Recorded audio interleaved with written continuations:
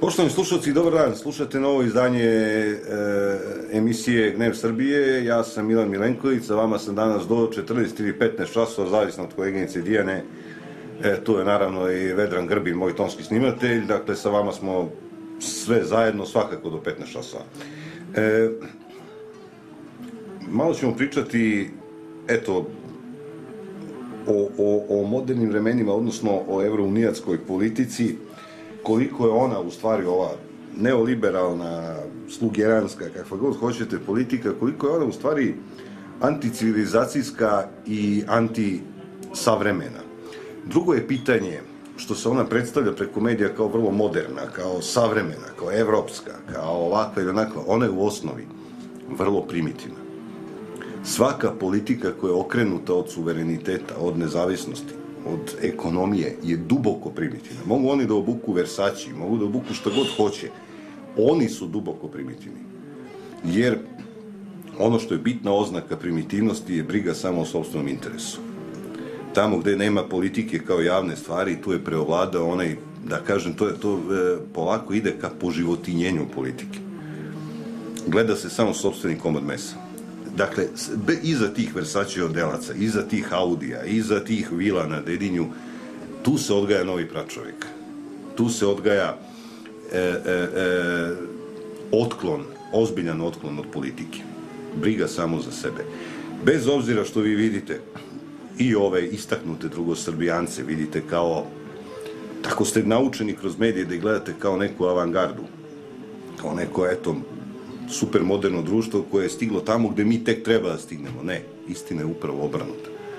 Oni su potpuno, potpuno demodirani. Oni su nešto što, što je preživelo, što je vrlo, vrlo primitivno. To je skok u istoriju, veoma, veoma dubok skok u istoriju. Znači, negde u srednji vek, pa i ispred srednjeg veka.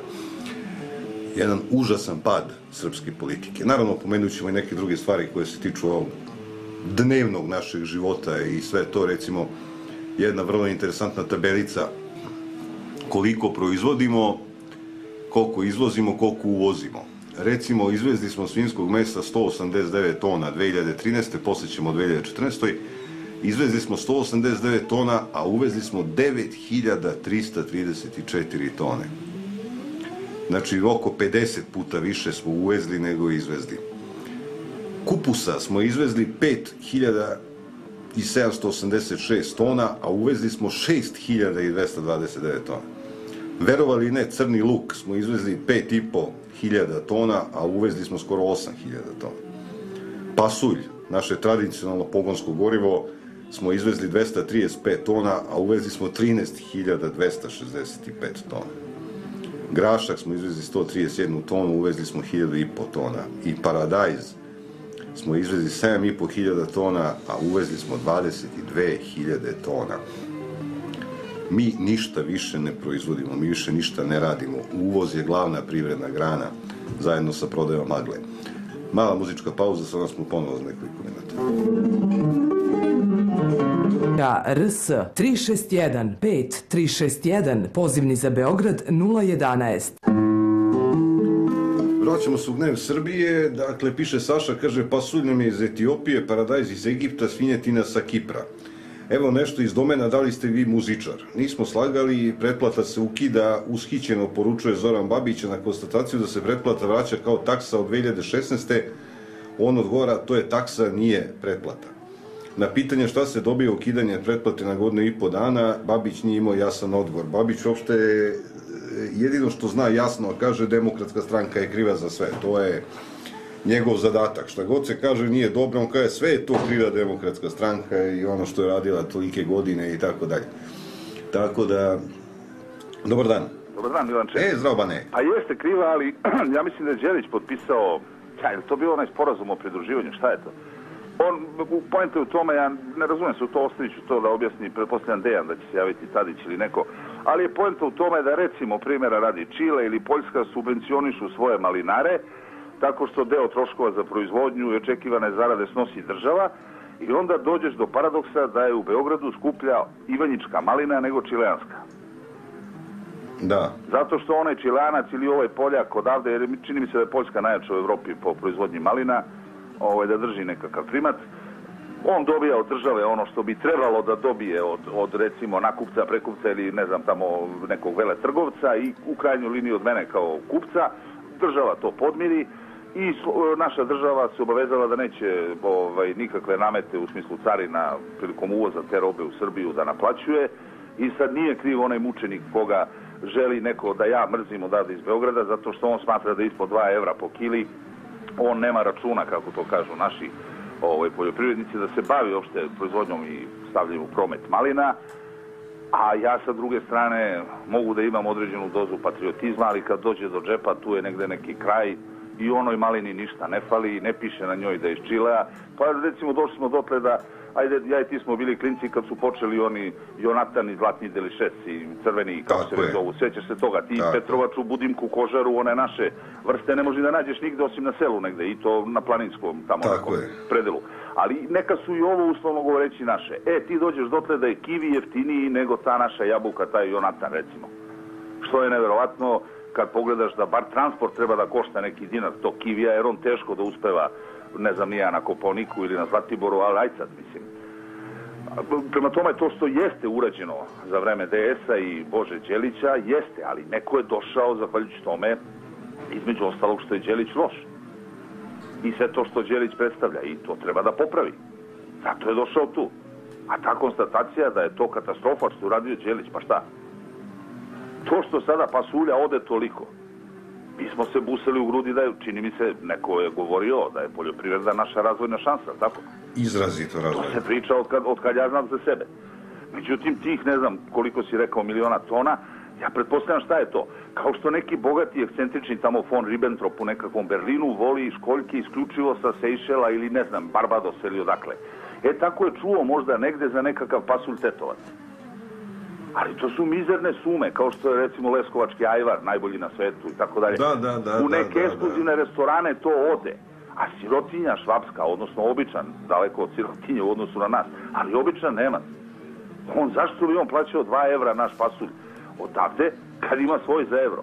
Jeste. I još može se pravi patriota. Ima duplo zadovoljstvo. A u krajnjoj liniji napunit će trbuh i mislim sve jedno mu, uopšte neće da razmišlja, jer on tako razmišlja. Pasulj je pasulj, ovo je jeftiniji. E, a kod nas je kontra situacija. Kod, ja sam ovde kod mene u kraju kupovao grožđe sa Sicilije, koje je jeftinije od onog našeg Afusalije ili Smederevke, belo grožđe, neko mnogo lepo bilo. Ali ono je jeftinije u januaru mesecu nego što je ovo naše recimo u oktobru, odnosno u septembru tako dalje. Mislim, to su neki paradoksi, ali tu leži ključ koliko ja to vidim, ali ja bi se tu zaustavio jer što se kaže tanak sam nego da ti vratim dug od juče. Ostao sam ti dužan nešto, ako može kako Naravno, naravno, kako da ne. oko onog zviždanja. I, i ovaj postupaka u koje su uvedeni momci iz zavetnika, čini mi se. Da. Pa evo, to ti je član 344 e, zakonika krivičnog ovaj, Srbije. To je nasilničko ponašanje. I sad pazi, imaš dva stava, ja ne znam koji se odnosi na njih. Prvi kaže ovako, ko grubim vređanjem ili zlostavljanjem nekog, vršenjem nasilja prema drugom, izazivanjem tuče ili drskim i bezobzirnim ponašanjem značajnije ugrožava spokojstvo građana ili teže remeti javni red i mir, kaznit će se zatvorom do tri godine. E sad, šta je grubo vređenje? To zviždanje ne može da bude ni pod razno. Moguće je da tu bilo, ne znam, izdajniče, pa pominjanje, otkud znam. Ali uslov je da je teže remetio, je tako? E, teže remeti javni red, znači ugrožava spokojstvo građana. Sad, teško da tu, međutim, još gore postoji član, e, odnosno stav 2, Paragraf, aha. koji kaže ako je delo iz stava 1, znači ovo što sam rekao, izvršeno u grupi, ili je pri izvršenju dela nekom licu nanesena, ovo nije laka telesna povreda, e pazi, ili je došlo do teškog ponižavanja građana. Kaznit će se od šest meseci zatvorom do pet godina.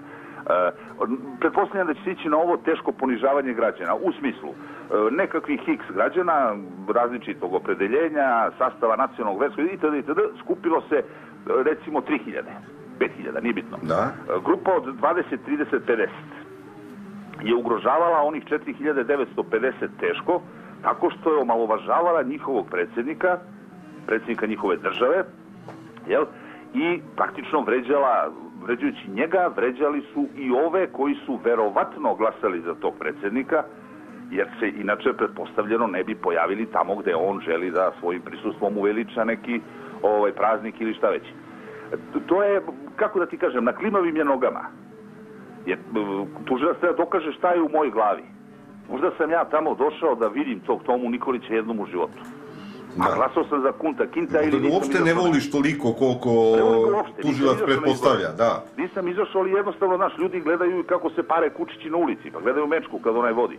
Pa to hoću da vidim svog predsjednika i da sutra mogu da kažem video ja Tomu.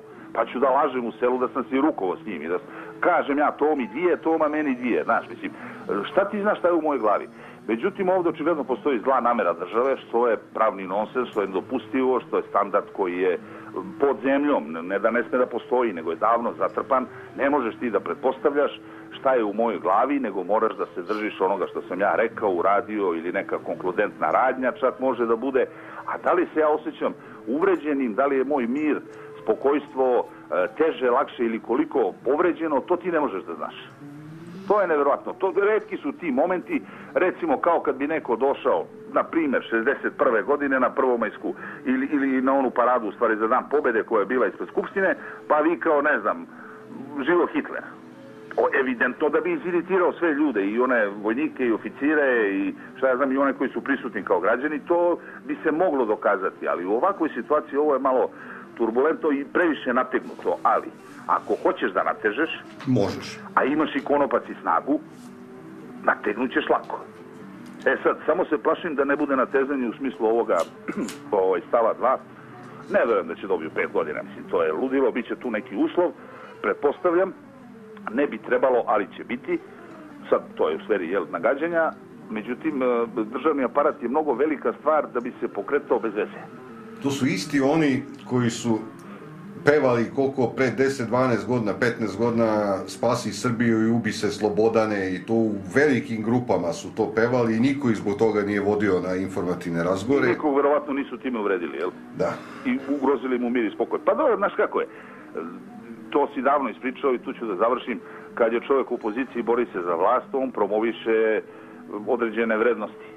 I onog trenutka kad zasedne u neku fotelju, foteljicu, hoklicu, sedne na nošu, ne mora nigdje drugdje, on će da zaboravi šta je. Flipnuo. Odjedanput sad sve ono što je on radio više nije dozvoljeno. Od jedan puta to sada podrivaš, eh, ne znam, temelje itd. itd. Znaš, mislim, gledaš, čitaš i sve ti jasno. Pozdrav, Milanče, tebi. Pozdrav, slušam. Vane, prijatno, pozdrav. Sećam se ja kad je na mitingu SNS-a, kad se i tekako zviždao na pomen bilo čijeg imena, se vikalo Tadić, Ustašo i tako dalje. Vrlo interesantna stvar kako sad ti, eto, isti, sasvim drugačije rezonuju i njihovi rezoni su otišli na potpuno drugu stranu. Koliko vlast promeni gledište. Dakle, ima li koga? Da, dobar dan. Alo, Halo, halo srpski sok. Aj zdravo. Ovaj, ovo, dakle, sve skupa počinje da liči e, ne na... Liči mi nekako na ovaj najrigidniji komunizam. I to ne onaj titoističkog, nego maoističkog. Ili istočno-evropskog tipa. U kome je proizvodnja ne, neprijatelja najbolja privredna grana. Ovde se onako ništa ne proizvodi, ali se proizvode neprijatelji sadašnjice i budućnosti proganjaju se. Bilo da su u pitanju blogeri sa interneta, svako ko napiše nešto što se ne sviđa nomenklaturi, taj mora da plati ceh za to. Dakle, nema dana, meni se tako čini, da, da se ekonomski i privredni slom i neuspeh kosovske politike prikriva stalnim pronalaženjem nekih huligana, ekstremista, unutrašnjih neprijatelja, uopšte neprijatelja svih vrsta oni koji prate malo moje emisije znaju da ja insistiram na tezi da mi već živimo u postdemokratskom društvu. Odnosno, na jednom nužnom i neizbežnom putu u diktaturu. I pronalaženje na dnevnoj bazi neprijatelja, huligana, ekstremista, pa bit će i atentatori će se tražiti, e, su siguran dokaz da se na obzorju političkog života u Srbiji rađa diktatura. Sad, Hoće li to biti e, i kakva diktatura? Ja lično mislim da će nas onaj titoistički period, bar onaj koji ja pamtim iz 80. godina, da će nam izgledati kao Disneyland u odnosu na diktaturu koja dolazi. Tako se meni čini. E, komunistička diktatura je, bar u Jugoslaviji, bila ograničena jer prvo bile ograničene ideološki. Odnosno, e, ideologija je obavezivala komuniste, tako nisu mogli da idu predaleko u nekim stvarima i drugo, ovaj, e, bila je ograničena e, presija na relativno mali broj stanovnika, neistomišljenika. Dok je veliku većinu stanovništva i ta diktatura korumpirala radnim mestima, školovanjem, sređenim zdravstvenim sistemom, stanovima, jeftinim komunalijama, visokim radničkim pravima, sindikalnim letovalištima i uopšte jednim dosta solidnim standardom. Ova moderna diktatura koja se sprema morat će bude tvrđa i surovija jer većini građana nema šta da ponudi osim batine. I kako se bude više razmicala e, e, kako se bude povećavalo rastojanje sa jedne strane između RTS-a i Pinka i onoga što nam oni prodaju i onoga e, one stvarnosti u kojoj živimo tu rupu između Potemkinove stvarnosti i očajne stvarnosti u kojoj živimo morat će zakrpi diktatura. Tako da ja vidim da će, da, da, da će morati ta diktatura, ta sila da se umetne između stvarnosti i medija. Ja čak neću budem zlo nameran pa da kažem da ovaj srpski triumvirat, Dačić, Vučić, Nikolić, želi diktaturu. Nisam uopšte siguran u to da oni žele diktaturu. Diktatura je, nažalost, u logici sistema. Ona dolazi nužno, a ne zato što je hoće neko. Prosto, doba nudi diktaturu, doba u kome živimo nudi diktaturu. I sistem već dve decenije je izmestio vlast iz parlamenta u neke mutne centre moći, u poredak. Danas izgleda kao da Vučić i Dačić vode službe bezbednosti. Za pola godine će postati očigledno da te službe vode njih. Već odavno ti neki neformalni centri moći u Srbiji ne moraju da se sporazumevaju sa stranim centrima moći preko vlade i ministara, već imaju svoje direktne linkove sa centrima moći s polja. To je vrlo važan moment i treba ga dobro i pravilno oceniti. Mogu mirno da zaobiđu red stvari i da se sami pogađaju s kim hoće. Neko bi se možda pitao zašto režim ne gleda da makar uspori privredni, kulturni i ekonomski pad i slom ovaj u kome živimo, ako ni zbog čega drugog, ono zbog mirnijeg i udobnijeg pretrajavanja mandata. Ali odgovor je tu prost. Režim ne kontroliše poredak, već samo pred kamerama simulira moć. Od 2000. godine do danas promenilo se, ako se ne vram, pet režima u Srbiji. Ajde, ovaj kao neki šesti, u stvari on je peti nastavak petog, a da se ništa nije promenilo. Šta vam to govori? Upravo to da se stvarna moć nalazi u rukama onih koji ulaze koji e, ne ulaze u izborni proces i da su promene u okviru tog istog izbornog procesa nemoguće. Političkim, nazovi, elitama se dozvoljava jedino da se obogate tokom mandata i ništa više. Da stvari budu još gore i neformalni centri moći su heterogeni. I sem saglasnosti da, tu, da Srbiju treba olupati i upropastiti, oni nemaju nikakve zajedničke ciljeve. Ti različiti ciljevi unutar poredka, proizvode opasne podele i unutar bezbednostnih struktura, što će represiju u vrlo bliskoj budućnosti učiniti krajnje nasumičnom. Vi, e, već i danas, da vam objasnim samo čemu se radi, već i danas je represija krajnje nasumična. Vi ne znate za kakvu glupost možete biti optuženi. Napisali ste nešto na internetu. Zviždali ste predsedniku. Znate, to, to su tako bezvezne stvari, čak i mereno nekim merilima prethodnih epoha. Ali eto, e sad, delovi struktura moći će imati svoje posebne neprijatelje, svoje posebne tužioce i sudije, svoje poluprivatne pritvore i svoje planove za budućnost. Tu je razlika između čvrste ruke i diktature čvrsta ruka kontroliše sistem, onda ima smer, ima pravac, ima goni političke neisnomišljenike, ali ih ne goni po privatnim naručbinama. Kod čvrstorukaca se zna granica koja ne može se preći. A kod diktatora nema granice. Menja se broj dnevno kako se kome šta sviđa, hapsi onaj kome se sviđa, njegove neprijatelje, lične i tako dalje. U diktatorama je baš broj progonjenih izuzetno veliki za razliku od čvrste ruke. čvrsta ruka ima meru, diktatura nema nikakvu meru. Evo, samo da vam ilustrujem malo i ciframa. Po veoma širokim procenama, za pet godina, dakle negde od 48. do 53. uhapšeno je između 50 i 70 hiljada informbirovaca. Dakle, to je najviša cifra koja figurira u javnosti. Tu cifru iznad Dragoslav Mihajlović. I sam govo to kaže. Znači, za pet godina između 50 i 70 hiljada. To je, kažem, najviša cifra koja je u opticaju. Na 20 miliona stanovnika. To je negde, ajde da računamo 60.000, to je negde 12.000 godišnje ili 1000 mesečno. I to udrži od 20 miliona stanovnika. Tokom akcije Sablja godišnji učinak ozne iz 48. sabijen je u mesec dana ili manje. Sada da vam objasnim razliku između diktature i čvrste ruke. Dakle, za mesec dana je u Sablji uhapšeno više nego što je Ozna u Informbirovu hapsila godišnje. To pokazuje nasumičnost, to pokazuje potpuni, potpuno odsustvo za, za, za e, kako bi rekao, kriterijuma. E, mi danas Oznu doživljamo možda i s razlogom kao vrlo represivnu organizaciju. A post petoktobarski nazovi službe bezbednosti kao sluge demokratije. Ja lično mislim da bi se udbaš starog tipa, onaj Rankovićac, zgrozio nad količinom represije modernih vremena. Samo što ovde nemate personalizovano ništa. Tamo ste imali Rankovića i Krcuna pokažete prstom, ovde nemate koga pokažete prstom. Ovo je zlo bez zlikovca, ako razumete šta hoću da kažem. Zlo koje je bezlično, depersonalizovano, tu je prosto nasumično. Sivi ljudi vas jure, sivi ljudi vam sude, sivi ljudi vas tuže. Sve je potpuno sivo. Onda, dakle, u zla diktatorska vremena uhapšen je svaki 400. stanovnik i to tokom 5 godina. Ovde je uhapšen svaki 400. u Srbiji na 15 dana, u 15 dana. Mislite malo o tome.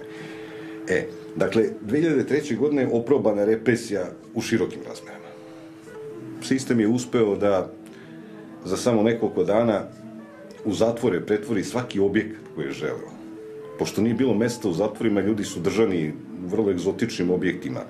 Negde u školama, negde u nekim magacinima. E, da vidite čuda, policije nije nedostajalo za tu represiju. SFRJ sa 20 miliona stanovnika imala je 4000 zaposlenih u policiji, opet kažem na 20 miliona stanovnika. U današnjoj Srbiji policija ima 48.000 zaposlenih na 7 miliona stanovnika. Dakle, onda je svaki 500 građani radi u policiji, danas svaki 140. Pa ne verujete valjda da ih je toliko da bi širili demokratiju. Sa ove distance vremenske, sasvim je jasno da jedan bezlični Zoran Živković, tadašnji premijer, uopšte nije kontrolisao događaje. Niti je smeo to da radi. Mislite da ovi danas imaju više moći nego što ima Zoran Živković u ono doba? Ja mislim da imaju manje moći. Prebacivanjem svih svojih promašaja i neuspeha na huligane, ekstremiste i ostale na Srbe s kosmeta, u ostom i na njih se prebacuje deo promašaja, režim pokušava da dobije propagandističku bitku, ali budući da ovaj režim ne krasi dublja misa, ne primećuje se kako se igračka polako pretvara u plačku.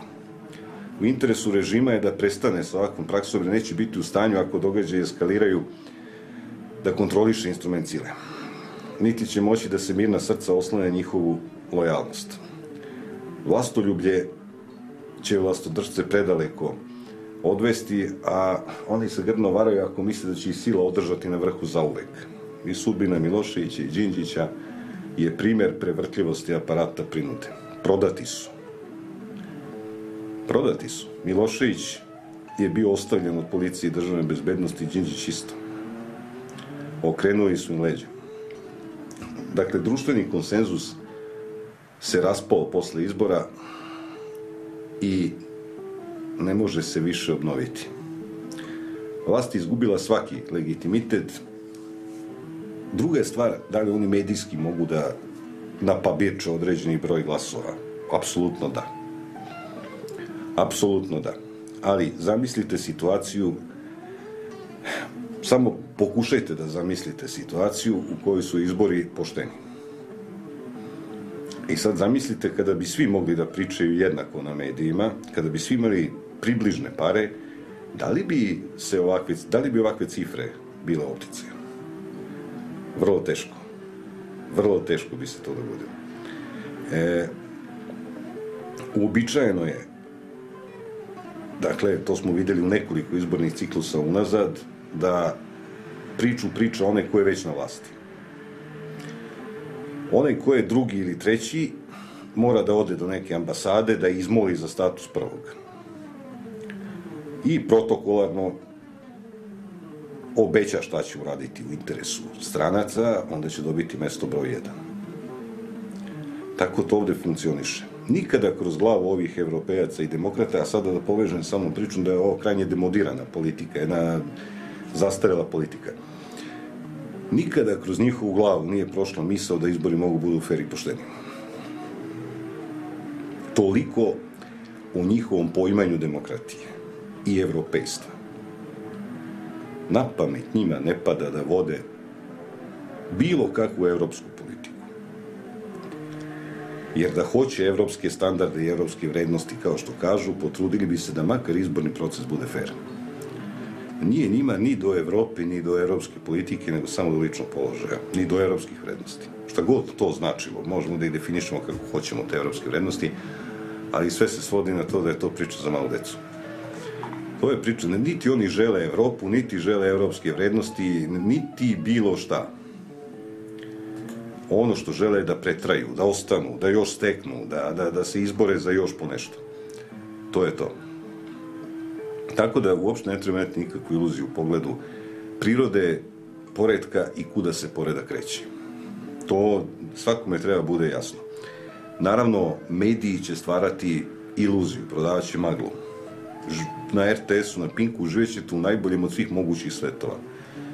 U svetu u kome su svi zakoni epohalni, daju samo dobre rezultate, samo plus iz njih bije, nikad minus svet u kome su naši političari lideri u regionu, bez kojih se ne može, svet u kome mi beležimo stalne napretke u privredi, u zaposlenosti, dok ne pogledamo statistiku. Kad vidimo statistiku, eto ko su čupamo. Evo ja predlažem opklad.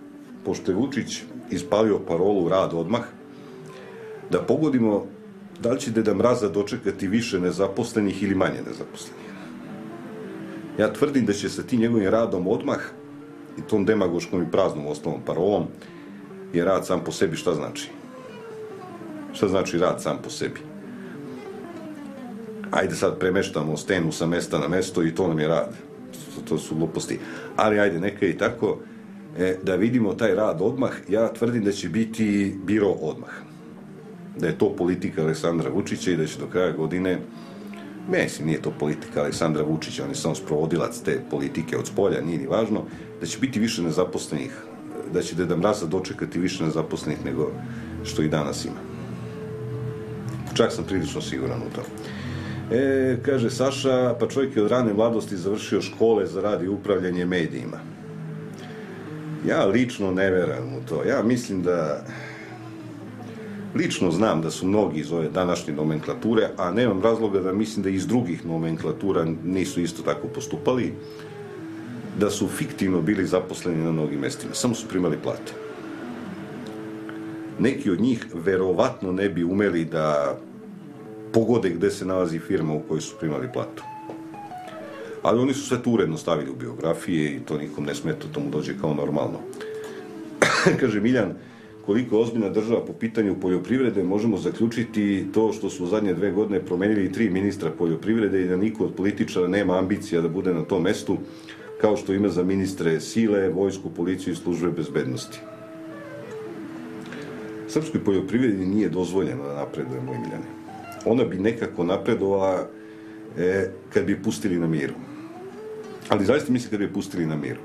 Međutim, država se aktivno upliče da upropasti ono malo poljoprivrede što je ostalo. I to nije slučajno. To nikako nije slučajno. To ne treba imati nikakvu iluziju. Slučajno poljoprivreda ne može propadne. Nešto drugo možda može propadne slučajno, krov ili terasa možda može propadne slučajno, a i to je pitanje, a poljoprivreda ne može propadne slučajno.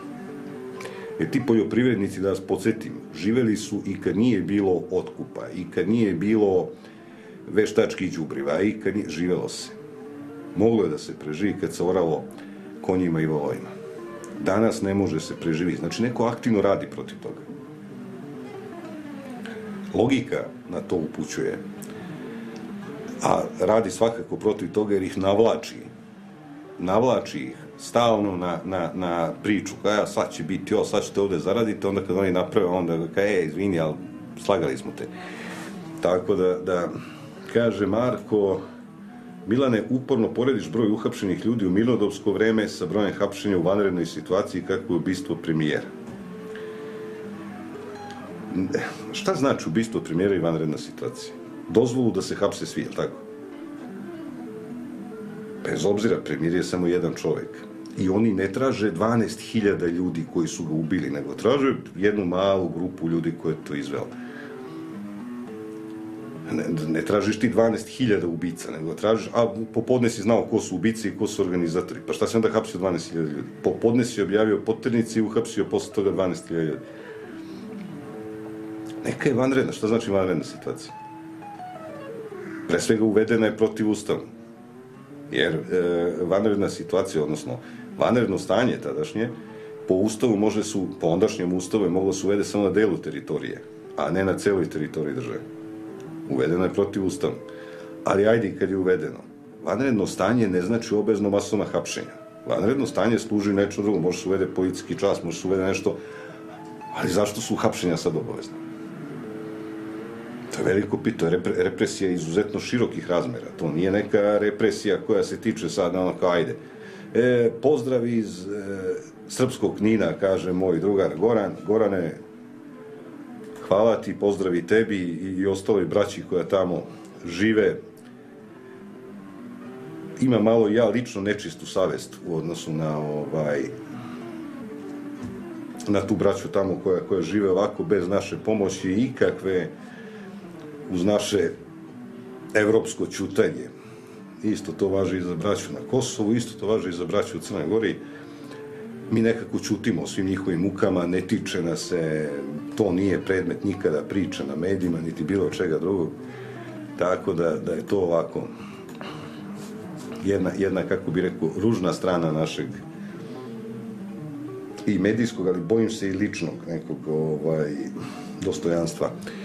Dakle, počeli da pričamo o tome kako je ova politika demodirana. Ne može, e, svi veliki, evo danas je godišnjica, godišnjica, ovaj, imate neko na vezi, jel? Godišnjica e, smrti Ota von Bismarcka, gvozdenog kancelara, 1898. godine je umro. To je veliki političar. To je čovjek koji je javnu stvar, Prusku, ili Prusiju, kako god hoćete, stavio iznad sebe iznad svih svojih interesa, iznad svega. To je prava politika. A ova moderna, bez obzira što je Bismarck mrtav 116 godina, to je moderna politika, to, to je dobra politika. A ova politika danas je demode i kao kad bi sad neko nosio šimi cipele i gedžbi pantalone. To je ova politika danas. Dobar dan. Dobar dan, Milane Rada. Zdravo, Rajka. Zdravo, pa šta ja sad da kažem kad si ti sve rekao? Eh, ko niko nije rekao sve. Ko sve si kazao da ja jedino mogu da ti kažem da u parlamentu je stanje užasno. I e, upalim ponekad samo da čujem eto kako se svađaju jer ovaj to je isto ko pa bolji su bili oni na farmi nego nego ovi u parlamentu. Ovaj prvo kaže ovaj dobar dan predsjedniče e, pozdrav mislim ono znaš kao sve lepo ovaj, e, dragi poslanici, draga predsjednice, dragi ova, i onda počne da pljuje. Da. Meni to toliko bude smešno. Pa šta ih pozdravljaš onda dobar dan svima i nastavi priču, a ne prvo im se obratiš fino, kulturno, a posle ih pljuje. Da. To, mi, to mi je toliko smešno. Drugo, Milane, ovo ništa ne valja. Stanje u državi je grozno, šta ćemo, kako ćemo, šta će biti, kako će biti, to se ništa ne zna.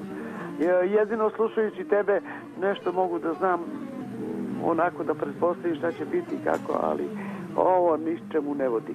Vučić se našao u neobrano grožđe, u stvari on možda i zna, ali ne sme da potpiše tamo ovaj, da neće sa Rusima, da hoće u Evropu, on hoće u Evropu, a hoće sa Rusima, ovi ne mu ne daju i šta će biti, kako će biti, nemam pojma. Šta ti misliš, Milan? Ja mislim da oni nemaju izbora, da će morati da idu sa Europskom unijom, a da se ove priče proturaju samo da se javno mnjenje navikne na to da postoji dilema. Aha, I jednog dana, a taj dan nije daleko, onda će se otkriti da, eto, uz velike i teške muke, e, morali su. morali smo za Europsku uniju, šta ćemo? Da, zato što su jači. Evo danas novine koje su veoma naklonjene vladi pišu ucene iz Europske unije. Ili sankcije već Rusije ili prekid. Šta je sad sa onim što je Vučić pričao pre nekoliko dana? Ja ne razgovaram jezikom ucena, niti mene neko ucenjuje. On se samo pravi. Srećom, Srbi ne pamte te novine od pre nedelju dana, pamte samo ove od danas i juče. Da. Tako to ide. Rajka, hvala ti što si se javila. Nema na čemu, Živio bi bila. još nešto da kažem. Kaži.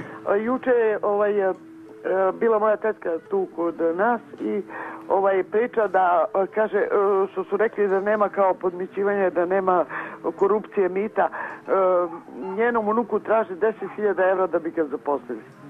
Eto, samo toliko da, da se zna da i sad ima korupcija i sad ima mito. i Ma sad, nemoguće, znači, pa zar ti ne znaš da je 10.000 Vučić sve to sredio? De- dečko koji je završio ekonomski, ovaj, e, višu ekonomsku školu, ovaj, je, ili gimnaziju, šta beš, nije ni važno, traža mu 10.000 evra da bi dobio posao. Mašala. E, ajde Milane, prijatno. Živjela, živjela Slušam te dalje. Hvala ti, prijatno. E, Milane, da li imaš neku vezu? Zaposlio bih e, se vrlo rado da vozim premijera Vučića. rade. da, da, da, da, da. Duhovito rade, onako gorko, ali duhovito. E, sad sam gledao, kaže slušalac snimak putujućeg cirkusa u autobusu, zanima, zanima me da li će protiv Dačića biti pokrenut postupak za kršenje zakona o zabrani pušenja u zatvorenoj prostoriji. E, aj pogađamo, da hoće. A šta misliš? Ja nešto mislim da neće, a da vidimo. Ovaj, naravno da neće. E, dakle, priča o tome kako je ta politika danas demodirana, kako je politika otišla, kako bi rekao, ovo je politika pračoveka. Ovo nije politika jedne države. Bez obzira kako se ona upakuje u celofan, bez obzira da li nju prate mediji, bez obzira koji glamur trči oko nje, sve se svodi na to da politika ima zadatak i politika ima cilj, koji je uvek, to treba naglasiti, u interesu naroda i države. Nema priče, nikakve, kad vam neko kaže bit će vam gore da bi vam bilo bolje. Zaboravite ono bolje, bit će vam gore. Zaboravite na ono bit će vam bolje, od toga nema ništa. Prema tome, ova politika danas nije u interesu naroda i države, bez obzira u čijem je interesu. Sad tu možemo nabrajamo čiji su sve tu interesi premreženi, nije bitno. Ovo je politika koja je protiv interesa naroda i države. Ona ima medijsku podršku, pa sa medijskom ima i podršku jednog dela stanovništva, verovatno oko četvrtine ili možda i trećine stanovništva uživa podršku. Ali objektivno, ova politika je put u ništa. Put u ništa. I to će se vrlo brzo videti. Neće proći godina dana, vidjet će se kakvu pustoš proizvodi ova evropska politika, politika evropskih vrednosti, evropskih standarda i tako dalje. To je to. Idemo na pauzu, samo smo ponovo za nekoliko minuta. Naroda.rs 361 5 361 pozivni za Beograd 011 Vraćamo se u Dnev Srbije, kaže Mićo šalje link, samo jedan trenutak da vidim. E, aha. Preko Fonda za razvoj od 2007. do 2013. umesto firmama iz nerazvijenih opština pare davane najimućnijima u Srbiji objavio Savjet za borbu protiv korupcije. Znam za to. E, e, on je slupao milijardu i 800 miliona evra. E, evo o čemu se radi. E, Fond za razvoj je osnovan zbog toga. I kad gledate njegove izveštaje, ja sam držao rukama izveštaje, nikada ne kažu kome su dali kredite, nego kažu granski, poljoprivredi toliko, metalskoj industriji toliko, tekstilnoj industriji toliko, ali se nikad, i onda daju pregled po opštinama, po ome, po onome, ovaj, ali e, se radi o tome da nikada ne kažu kome su dali. A kakve su muljačine tu bile, tu je osnovno nekoliko, aj kad smo se dotakli već te teme, to nije beznačajna tema Mića. Osnovano je nekoliko tih fondova, različitih i banaka, Agrobanka, onda Univerzal banka, Razvojni fond, Nacionalni investicijni plan. To su bila sredstva posle privatizacije, kad je nestala lova. Nije više moglo se pljačka. E, onda su se setili da bi mogli malo pljačkaju budžet. I onda je to tako, jer ti e, Razvojni fond i NIP su direktno vezani za budžet, a Agroba, Agrobanka i Univerzal banka nisu bile direktno, beš Univerzal, ja mislim da jeste. Ovaj, ako nije, onda se... Ne, jedna banka, sad ne mogu ovog trenutka se setim, ali dve banke koje su opasno kalirale, sećate se Agrobanke, mislim da je bila Univerzal. Nije ni važno. Tek poenta cele priče u tome da su i te banke, koje su prividno samostalne, opet iz budžeta nadok, na, e, je e, pokrivana njihova rupa. Prema tome, pljačka budžeta je privredna grana, to, to mora ozbiljno se razume, nestalo je para od privatizacije. Koštunica i njegovi se dan danas hvale kao mi smo dve, tamo četvrte pa do osme, to je cvetalo, da, cvetalo jer ste privatizovali. Bu, zašto i te pare trpali u budžet i bilo super, jel da, bilo za sve. Tako to ide. Evo mala računica samo za sve vas. Koliko ste opljačkani za 13 godina? Banalno. Ajde da kažem ovako, prva računica kaže ovako, da je srpska privreda vredela 300 milijardi. Pretpostavljam da je to korektna cifra. Možda je bilo više, znate, ipak je samo na teritoriji Srbije bilo 10.000 preduzeća. Neka od njih su bila veoma velika i bogata. Neka su pojedinačno vredela po par milijardi evra. E sad, 300 milijardi je otišlo za neke 2,5 milijarde. Znači, negde otprilike svako od nas je u tome krajcovan, ovaj, kažemo, ajde, neka je pola država ulagala. Neka je 150 milijardi ono što su ulagali sami radnici, stanovništvo. Zašto? Pa e, e, društvena svojina se razlikovala od drugih oblika svojine po tome što se zasnivala na solidarnosti. Drugim rečima, ko je iz malog grada zna. E, postoji jedna velika firma u nekom gradu i njeni radnici umesto u plate odvaju jedan deo u neke fondove koji idu za razvijenje privrede u tom mestu.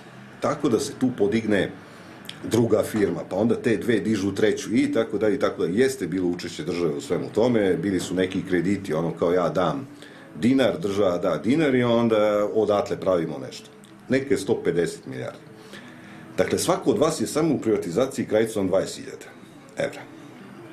To je ono što su vaši roditelji, za ove mlađe i dedovi, ulagali praktično iz svog džepa, ulagali u razvoj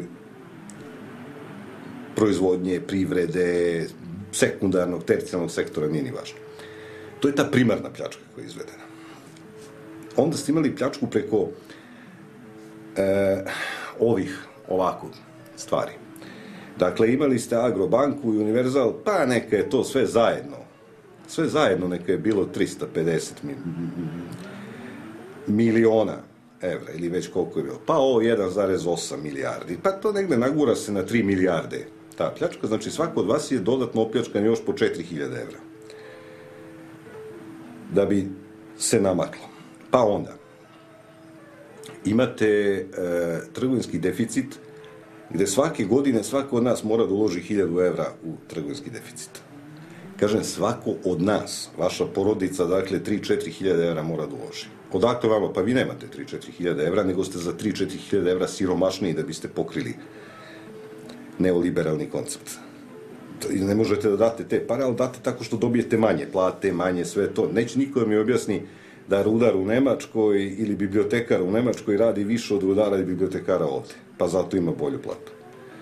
Ne, prosto vama se izlači. I sad kažem, vrlo često je priča ono, mi smo mali, mi smo neznatni, mi smo ovakvi, mi smo onakvi, pa nismo neznatni.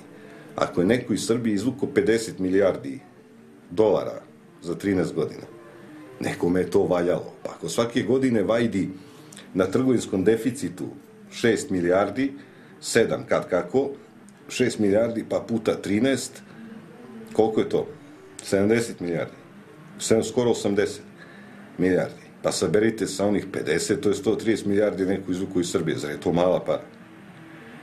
I možda jesmo mali, ali nekome završavamo posao. Nije to beznačajna cifra. Dakle, svako od nas je opljačkan u principu do sad za dvosoban stan, a vaša porodica možda za dva, tri dvosobna stana je opljačkana za ovo vreme. Možda vam ova cifra deluje preterana, ali stavite prst na čelo pa ćete vidjeti da je tako. Saberite, kao što sam ja sabirao, pišite, delite i vidjet ćete, tu uopšte ne ulazim u to da je svake godine, recimo, od 800 miliona do milijardu evra e, bila krađa na javnim nabavkama. Nije ni to beznačajno, to je desetak milijardi za ovo vreme. Govorimo o evrima. Pa koliko ste pljačkani na, na, na drugim nekim stvarima? Koliko, koliko vas dan danas pljačkaju na cenama, koje su izuzetno visoke u Srbiji? Šta radi EPS? Šta rade ostali? Imate li uopšte uvid? To su javna preduzeća. Imate li uopšte uvid kako oni obračunavaju? Koliko košta kilovat? Koliko košta sve? Ili samo ovako pošalju na račun i to je to? Pomislite samo koliko ste opljačkani za ovih posljednjih 13 godina. To su strahovite cifre. To uopšte nije banalna cifra. Nije niko vas krajcuo za 1002 evra, nego vas je krajcuo za desetine hiljada evra. Svakoga od vas. Pa pomnožite sa brojem članova porodice. Vidjet ćete da je pljačka nebeska, da, da, da je to nešto što mislim da nikad nijedna zemlja nije ovako opljačkana. Negde sam pročitao jednu ozbiljnu analizu, mislim da je Dragan Petrović napisao, moj česti gost, e, da je propast Srbije veća nego propast afričkih država koje imaju hroničan građanski rat. Pad proizvodnje je dramatičan ovde. Nama je današnja proizvodnja 40% od proizvodnje 99. ratne godine. Sad vi vidite koje su razmere olupavanja. Kad se radilo pod bombama, radilo se više nego što se radi danas. Tako da, vrlo su, vrlo su ozbiljne razmere pljačke. Bojim se da, da će tek neka nova generacija moći da izračuna koliko je to bilo. Vaše pare su se premestile u mnogo džepova. Politička nomenklatura, nešto tajkuna, mada ja mislim da su svi naši tajkuni samo paravani, ali generalno paravani za neke druge centre moći.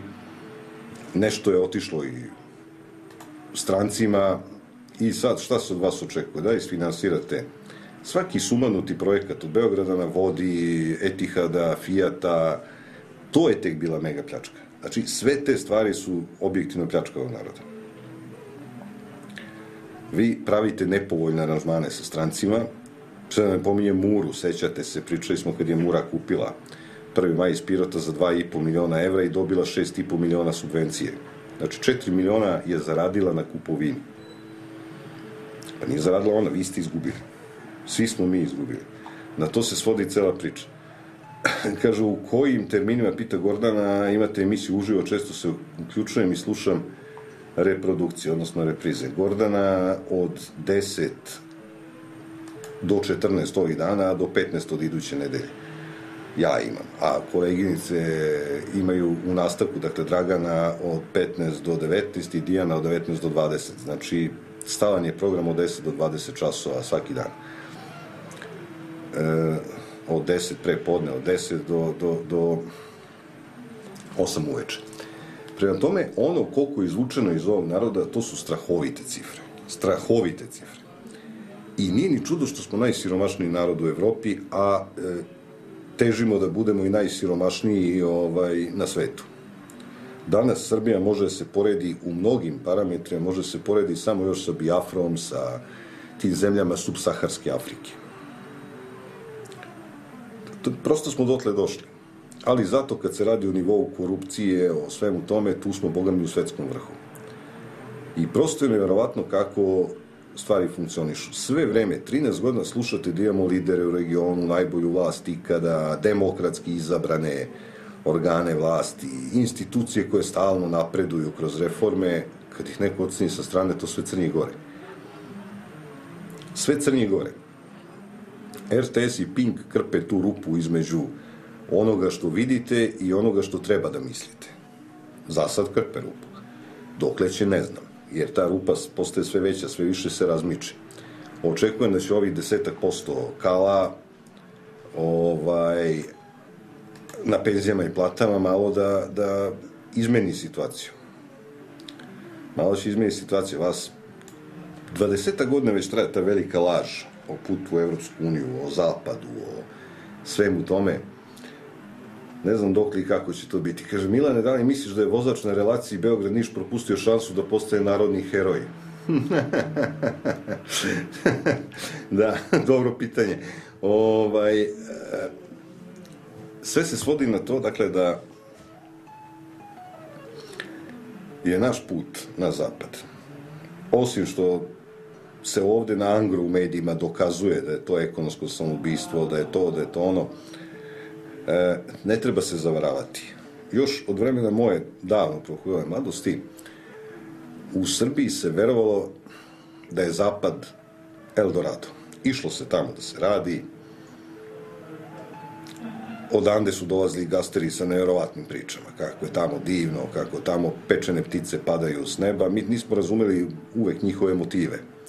Danas je moderna generacija i tamo Srbi koji žive danas na zapadu ne stide se da kažu da im loše ide. Ali 70-ih i 80-ih naši gastarbajteri su se stideli da kažu da im tamo ne ide sjajno, nego su cele godine štedeli da bi se pojavili ovde u nekom polovnom automobilu, da bi započeli gradnju kuće u nekom selu i da bi čašćavali familiju i onda se vrate tamo opet gologuzi da rade na nekoj građevini ili negde. Drugo je vreme. Danas su i, i, i naši gastarbajteri moderniji i kažem, eto, ne stide se da kažu da im ne ide baš najbolje. To je 70-ih bilo nezamislivo. Dobar dan. Dobar dan i srećan ti rad. Zdravo, zdravo, Ljubo. Pa, naš prijatelj Bane je pomenuo član 244 KZ-a. 344.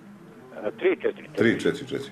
Ja ne znam ovaj, pod koju ću odrebe da pripadnem, ovaj, da li pod stav 1 ili pod stav 2, jer uopšte se ja ne slažem sa njihovom ovaj, pričom, tako da neka izvole, neka biraju, s obzirom da sam imao i otvorenu pretnju od bliskih saradnika našeg velikog bacara da će da mi pripiše za to što sam ga ja usudio se kritikovati kod njegove sekretarice.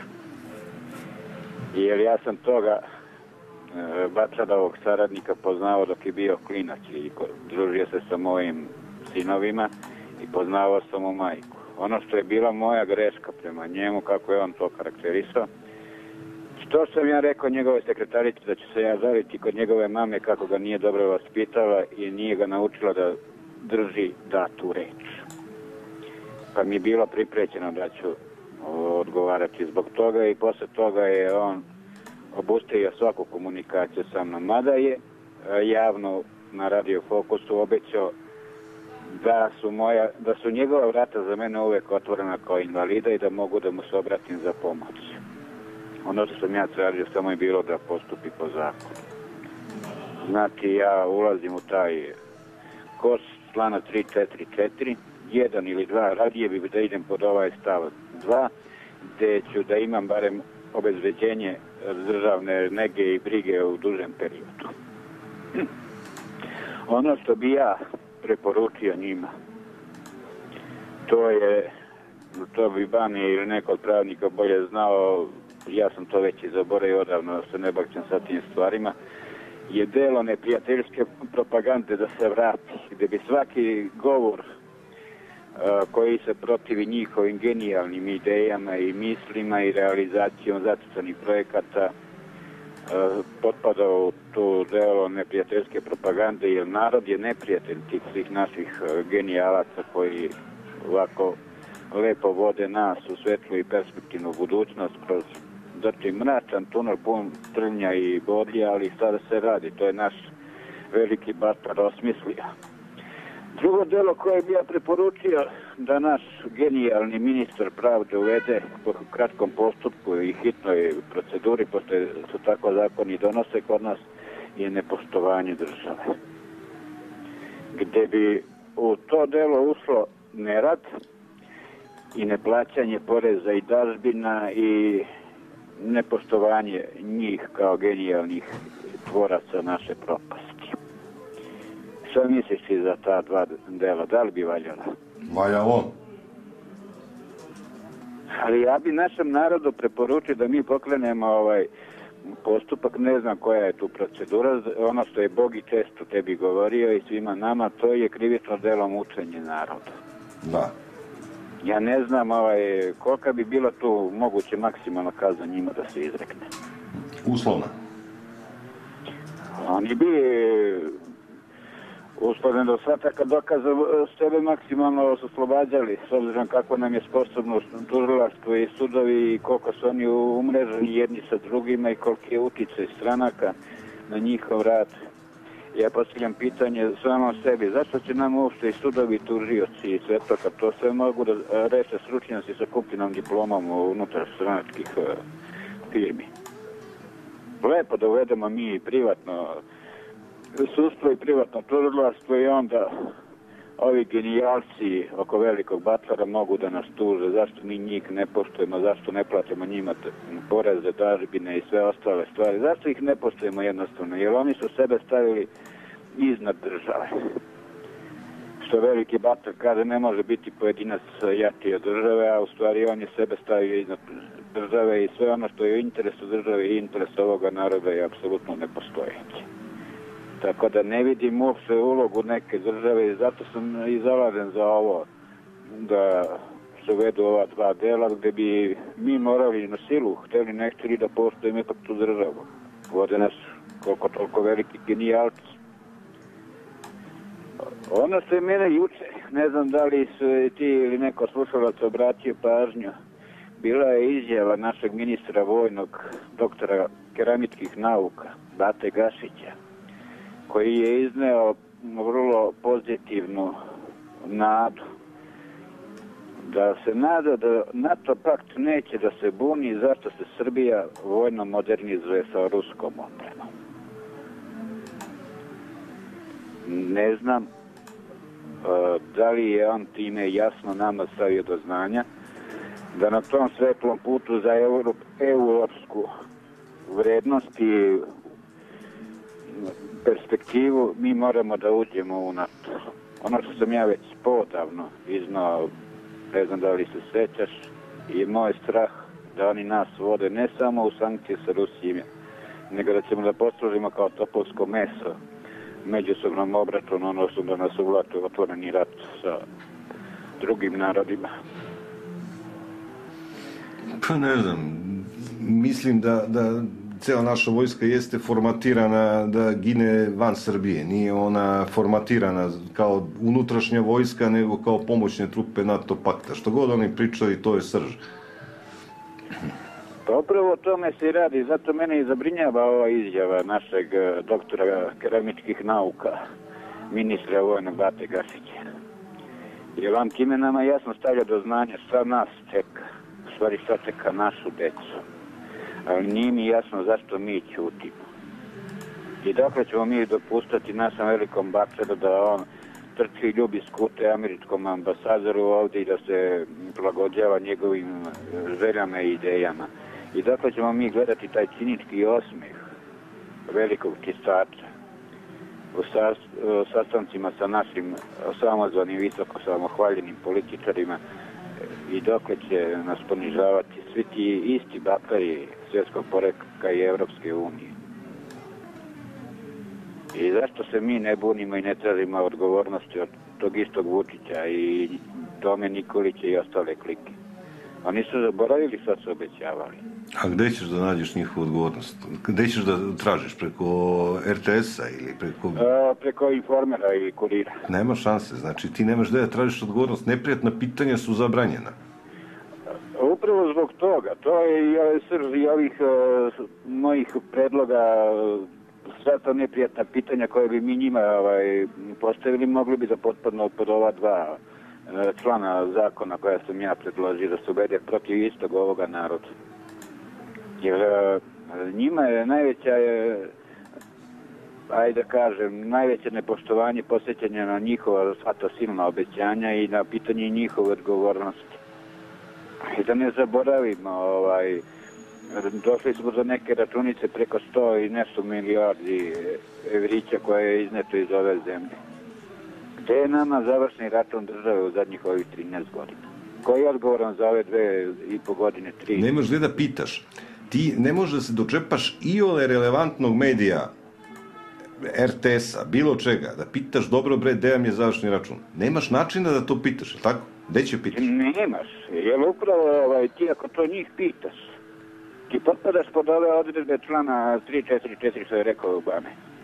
Ti se buniš protiv njega, ne poštuješ ga i jer on je sebe stavio na pijedestal svetinje. To su sve naši sveci, apostoli časti i poštenje, koji su opljačkali ovu državu. Da.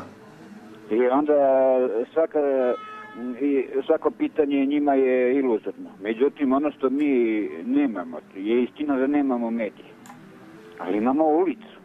Hajde da se skupimo na ulici pa da stanemo ispred vlade i da postavimo jednostavno pitanje o Vučiću odgovornosti i njegove ostavke. Ne samo Vučića, nego svih ostalih. I ono što ja sagledavam kroz istoriju i sva ova događanja. Časnije i poštenije ići na štitu nego sa štitom. Jer ne možemo mi ništa dobiti ako se ne borimo i ako nemamo žrtve. Da budem sluga neki, nekih stranih interesa i neću.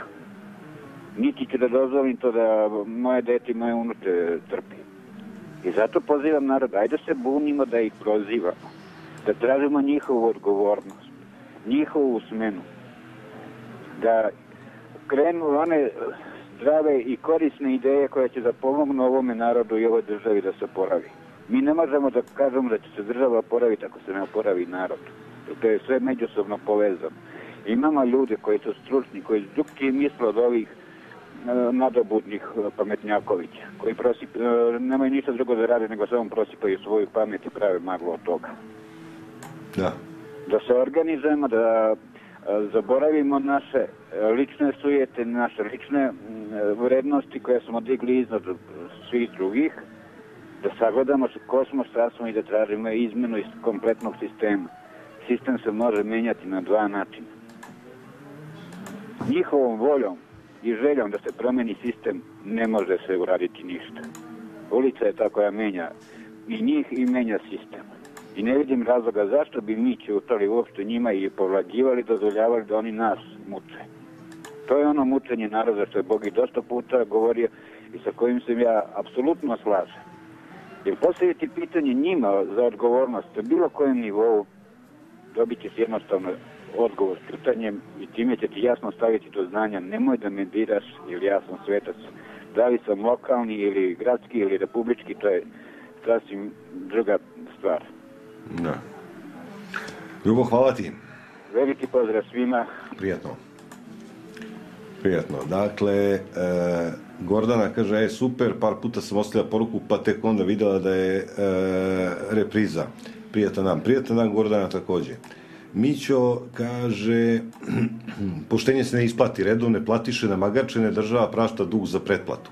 Pa možda će meni Aladin kralj Ibi ponuditi RTS za 1 evro, ali ja znam kako bi onda, a vi koji redovno plaćate, ostajem samo plači, mala plači. Zato ću uvesti taksu, umesto pretplate. To je sve baronija jedna, ali toliko neprijatna baronija da je to strašno. E, dobro, dobro, uhuhu. Pozdrav, Milanče, kaže Ljilja, pozdrav Ljiljo, živela mi, što kažu Hrvati, tisuću godina. E, dakle, govorio sam o tome kako je Zapad ovde bio privlačan za mnoge ljude. E, za mnogi ljude je Zapad bio izuzetno privlačan i ovaj više taj mit se srušio. Zašto je bio privlačan? Kao carstvo obilja, kao jedan veliki supermarket. Naravno, to je među srpskim intelektualcima prikrivano vrednostima Zapada, Michelangelom, Šekspirom, Beethovenom, nije važno, prikrivano je, a radi se o vrlo prostoj stvari. Zapad ima svoje vrednosti, ali te vrednosti su kao i svakoj kulturi više značne. Vi imate i Mozarta, ali imate i Inkviziciju, vi imate Michelangela, ali imate i Conquistadu. Vi imate Einsteina, ali imate i koncentracione logore. Sve su to vrednosti Zapada. Šta se znači evropske vrednosti? To je vrlo mutna priča i na toj priči se ovde gradi naš put u utvarnu Evropsku uniju. Mi uopšte ne znamo šta su vrednosti, nikad nisu definisane ni evropske vrednosti ni evropski standardi. Nikad nije, to je Eldorado, Shangri-La, Disneyland, ne znam ja šta treba bude taj zapad. To je jedna ovako vrlo, vrlo ovaj, mutna, mutna priča. E sad, idemo na jednu kratku pauzu, imam neka hitna, vrlo hitna posla, pa e, smo s vama za nekoliko minuta.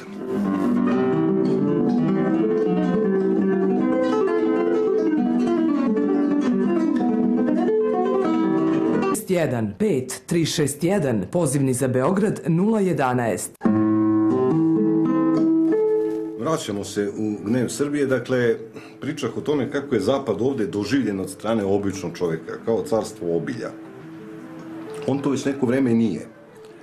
Ali kod nas je onako i moda dođe deset godina kasnije, tako da će i svest o tome da je Zapad danas u ozbiljnoj krizi svake vrste, doći negde do 2020. Tamo kad dođe vreme da se pitamo oko Europske unije, vada ja lično mislim da nas nikad neće ni zvati, ali ovaj, taman će, ćemo tad progledati, ono, vidjet ćemo nešto nije u redu. E, u pozadini, dakle, ljubavi prema zapadu, a Evropi naročito, je e, tu ljubav gaje ovde lažna skramica našeg društva, jer ona prava skrama našeg društva, ono što je zaista ovom narodu vitalno, zdravo i dobro je okrenuto od Evrope. Ali lažna skramica društva, politikansko, tajkunsko, estradna, je zagledana u zapad i ta slika njihova je i medijski podržana.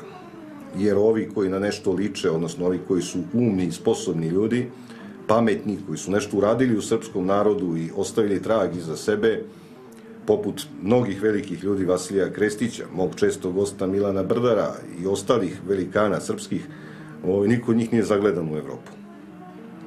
Ali ova estradno-politička, tajkunska žica jeste zagledana u Evropu. E, dakle, nije njoj do Michelangela ili Beethovena, već do supermarketa. Supermarket je za njih slika sveta slika vrednosti čovjek, kojima čovjek treba da služi i kojima treba da teži. Znači, to je slika njihova, zgrći, otimaj, kupuj, stvari, stvari, stvari. To je slika naše ove estradno-političke elite. Dobar dan. Halo? Da? E, dobar dan, gospodine Milane. Dobar dan. Ovde je Nada, ja sam uh, htjela... Dobar dan, Nadice. E, htjela sam da vam se javim. Uprko svim mojim nastojanjima nisam uspjela da dođem pre vašeg odmora. Pa ću, obećavam, posle vašeg odmora u vezi onog a, biltena, ako se sećate. Ok, da, sećam se. Pa, E, ili svratite, niste ostavili telefon prošli put mom E, toncu. nisam ostavila jer sam uporno čekala i neko drugi je posle uzeo vezu i nije mi... Nije mi ovaj... Evo sad je prilika, sad E, ćete to da- uraditi. Ostavit, a, da vam kažem, posle odmora, a ja imam jedan put sad od, od jedno tri nedelje, tri i po nedelje, pa se nadam da ćemo praviti taj bilten za godišnjicu. Ono je, beše da smo počeli negde krajem oktobra, početkom de, a, Novembra. novembra, tako? Da. E, a, i onda ću da pripremim još ovaj učesnika, tako da napravimo taj bilten. Samo to sam htjela da vam kažem, inače vas pozdravljam i zahvaljujem za sve ono što ste do sad uradili za Hvala nas. Nadice, malo pretjerano, hvala vam. Pa, Ovaj, I za, naravno, za vaše sve kolege, ali ovaj, ja uvek držim reč e, ukoliko ikako mogu, mislim da nisam čvrsto ni obećala. Evo sad čvrsto obećavam da ću posle ovog putovanja, znači negde pred kraj a, avgusta, a, doći do vas i do dveri i još jedno sitno pitanje, onako zbog mojih ovaj, klinaca. A, jel imaju još uvek one trakice georgijevske u dverima? ja mislim da više nema Nadice. Da nema? Mislim Dobro, da smo ništa. sve potrošili. Onda ovako, ja ću vam se javiti 25. Sad ću da ostavim a, ovaj telefon Važi. i hvala vam još jednom puno za sve, da vas puno ne zadržavam, a i ja sam u žurbi. Eto, Hvala vam, vrlo ste ljubazni, evo ostanite na vezi, sad ćete ona zapisati E, telefon. hvala. Prijetno. E, dakle, stao sam kod ovog pustog supermarketa, zapad kao supermarket. Drugim rečima, e, da malo pojednostavim. Teže je zamisliti recimo Tomu Nikolića u Luvru nego ispred bankomata, je tako? Lakše ga je zamisliti ispred bankomata nego u operi. Može on da odi u operu, ali nekako slika je lakše ga je zamisliti pored Audija nego, nego ne znam, pored Plasida Dominga. Mamon je bog svih naših evrofundamentalista i sve ostale te bratije čija igla na kompasu pokazuje zapad. U Silikonskoj dolini, gde se ljudsko meso za pare razmenjuje, nema rusofila. Tada, znate šta je Silikonska dolina, ko nije iz Beograda, to je jedno onako carstvo sponzoruša i sponzora gde se tu razmenjuje meso. Ove, neka vrsta pijace, to je ulica Strahinjića Bana, nažalost, tako se zove. Dakle, e, tamo nema rusofila. Ta Silikonska dolina u, u, u Beogradu je paradigma svetlog evropskog puta. Ona je srž evropskih vrednosti. Sve je na prodaju. To je zatrč na otvoreni šlajpik. Preko medija i političke scene taj zatrč se predstavlja kao najviši domet civilizacije, nešto čemu treba težiti. Srećom, Zapad nije samo to, niti su politički halapljivci slika srpskih težnji. Jesu slika dela srpskih težnji, ali ne slika srpskih težnji generalno. E, ipak, ako je Zapad našim Skorevićima jedan veliki, za sad okeanom predvojeni šlajpik ili novčanik, kako volite, samo u sebi Zapad je nešto drugo. Kolevka i grob kulture. Jeste i tamo mamon Bog, ali nije tamo uvek bio Bog mamon.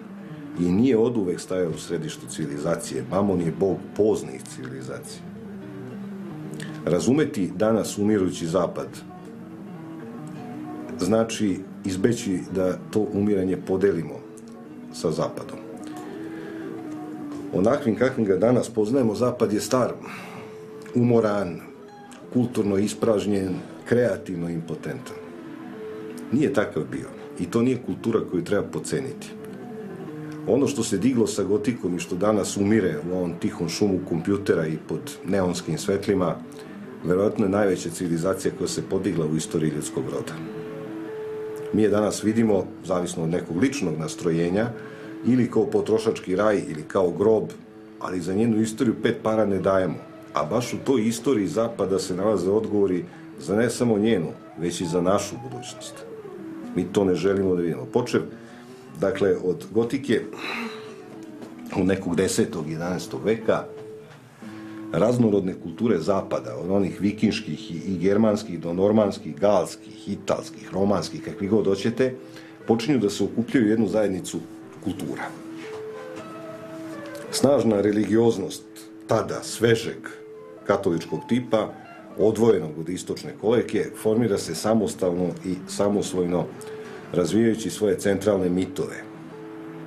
Mito đavolu i mito devici Mariji, koji sasvim potiskuju Isusa i čine ga drugorazrednom ličnošću hrišćanstva. To je najdublja tajna zapadne religije. Ovde naravno ne govorim ja o ispravnosti nekog vernog, verskog učenja, nego o različitosti koju mi odbijamo da pojmimo. Ti centralni mitovi se najpre pojavljuju kao onako okamenjeni strah u ornamentici gotičkih katedrala, ako znate kako ste gledali nekad sa svodova tih gotičkih katedrala, vrebaju čitaju čopori đavola, demona, e, ali se u centru katedrale nalazi Bogorodica. Dobar dan. Dobar dan. Da? Evo, moje veliko poštovanje Milanče, o, Dule Prijepolja ovde. Zdravo, Dule, gde si, prijatelju Bravo moj? Milanče, pa evo Milanče i ja uspeh jednom da, da dođem ovaj kod tebe.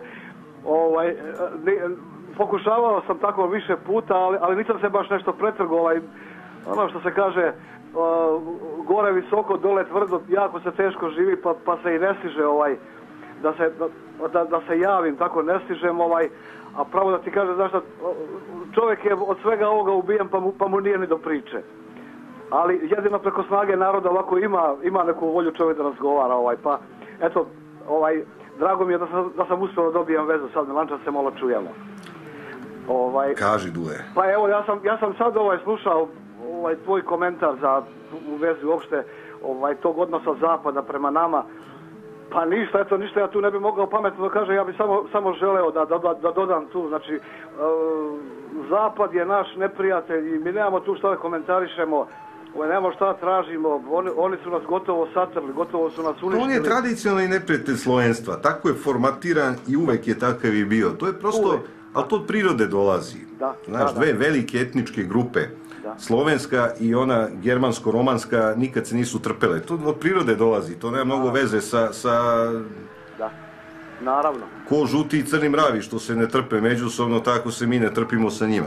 Pa naravno, i mislim da stvarno jednom, jednom je vreme da, da to shvatimo kao nacija, ovaj, eh, ajde da kažem, ne možemo se uzdati u ta naša sva rukovodstva tamo koji su, koji su bili instrument zapada da nas dovedu ovako, tako reći, do skoro samo uništenja, da, da, nas, da nas gotovo nestane. Ali ovaj, e, valjda ne- nekakav logičan ishod iz svega ovoga je okretanje ka, ka istoku i prema Rusiji. To je nešto odakle nikad nismo dobijali nikakve ucene, nikakva uništenja. E, do- dobijali smo koliko smo mogli pomoć uvek ovaj sad e, zluradi jezici tvrde da eto ovaj koga kako beše koga Rusi brane i Kinezi hrane taj ga je nadrljao. Ja se sa tim ne slažem jer ovaj e, Rusija je ogromna zemlja sa znači kad je, kad je gledam na, na, na ovaj mapi svijeta, ona mi izgleda veća nego, nego i, i sama ta mapa, nego sav ostali svijet. Znači treba, treba održati kompaktnost te tolike teritorije i ovaj kroz toliki dug historijski period, to ne malo nije lako, pa sad mi ne možemo očekivati od Rusije da oni nama ovaj tako ovaj na, na, na, na taci donesu sve što je nama potrebno nego ovaj zaista mi strateški treba da se okrenemo jednom ovako da, da budemo pametni. Imamo sad i taj vrlo pogodan istorijski moment jer na čelu Rusije je jedan takav čovjek kao što je Vladimir Vladimirović jedan, jedan izuzetan prijatelj Srbije, prijatelj srpskog naroda.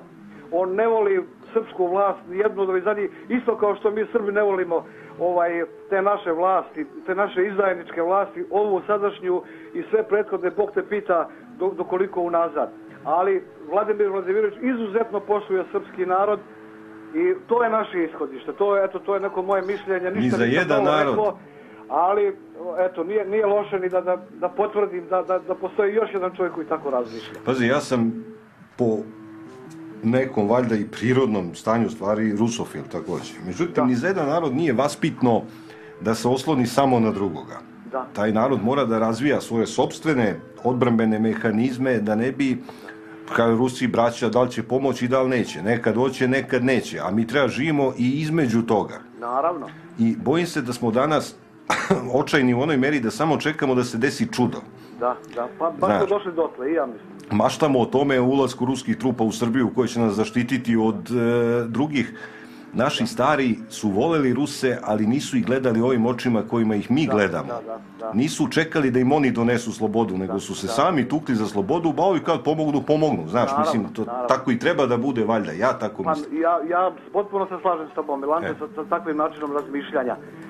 Nego smo mi mršavi danas. Pa, znaš, on ka- nažalost, dozvolili smo sebi da dođemo u tu neku pasivnu, potpuno pasivnu poziciju, da, eto, ovaj, da, da očekujemo da neko drugi reši naše probleme, da nam neko drugi očuva našu slobodu. Uh, naši su preci, što kažeš, milioni života, milione života položili preko Solunskog fronta, preko Kajmakčalana, preko Albanije, preko Kolubarske bitke. Bog te pita da bi očuvali tu slobodu koju, koju i mi danas uživamo od, od te- tih njihovih žrtava i pogibija, ali nažalost, evo sad šta se događa, događa se da te naše aktuelne vlasti to tako olako prodaju, olako prodaju kosti naših predaka, kao da je to ovaj, neki truli paradajz na pijacu, eto tako nešto uporedio, eto, figurativno s tim.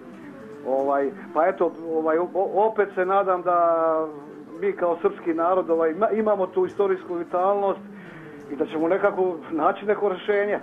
Ćemo se iščupati valjda, mada ovo sad kad se gleda, ovo, bi bila neka, tako reći, bezizlazna situacija. Mi ne znamo koliko smo rasprodati, nemamo pojma, samo naslučujemo. Ali, ali valjda imamo nekog izlaza, ja, opet, ja lično imam kod sebe neku veru da ćemo mi opet uspjeti da se izvučemo na kraju krajeva nije nam prvi put kao Srbiji i kao Srbima.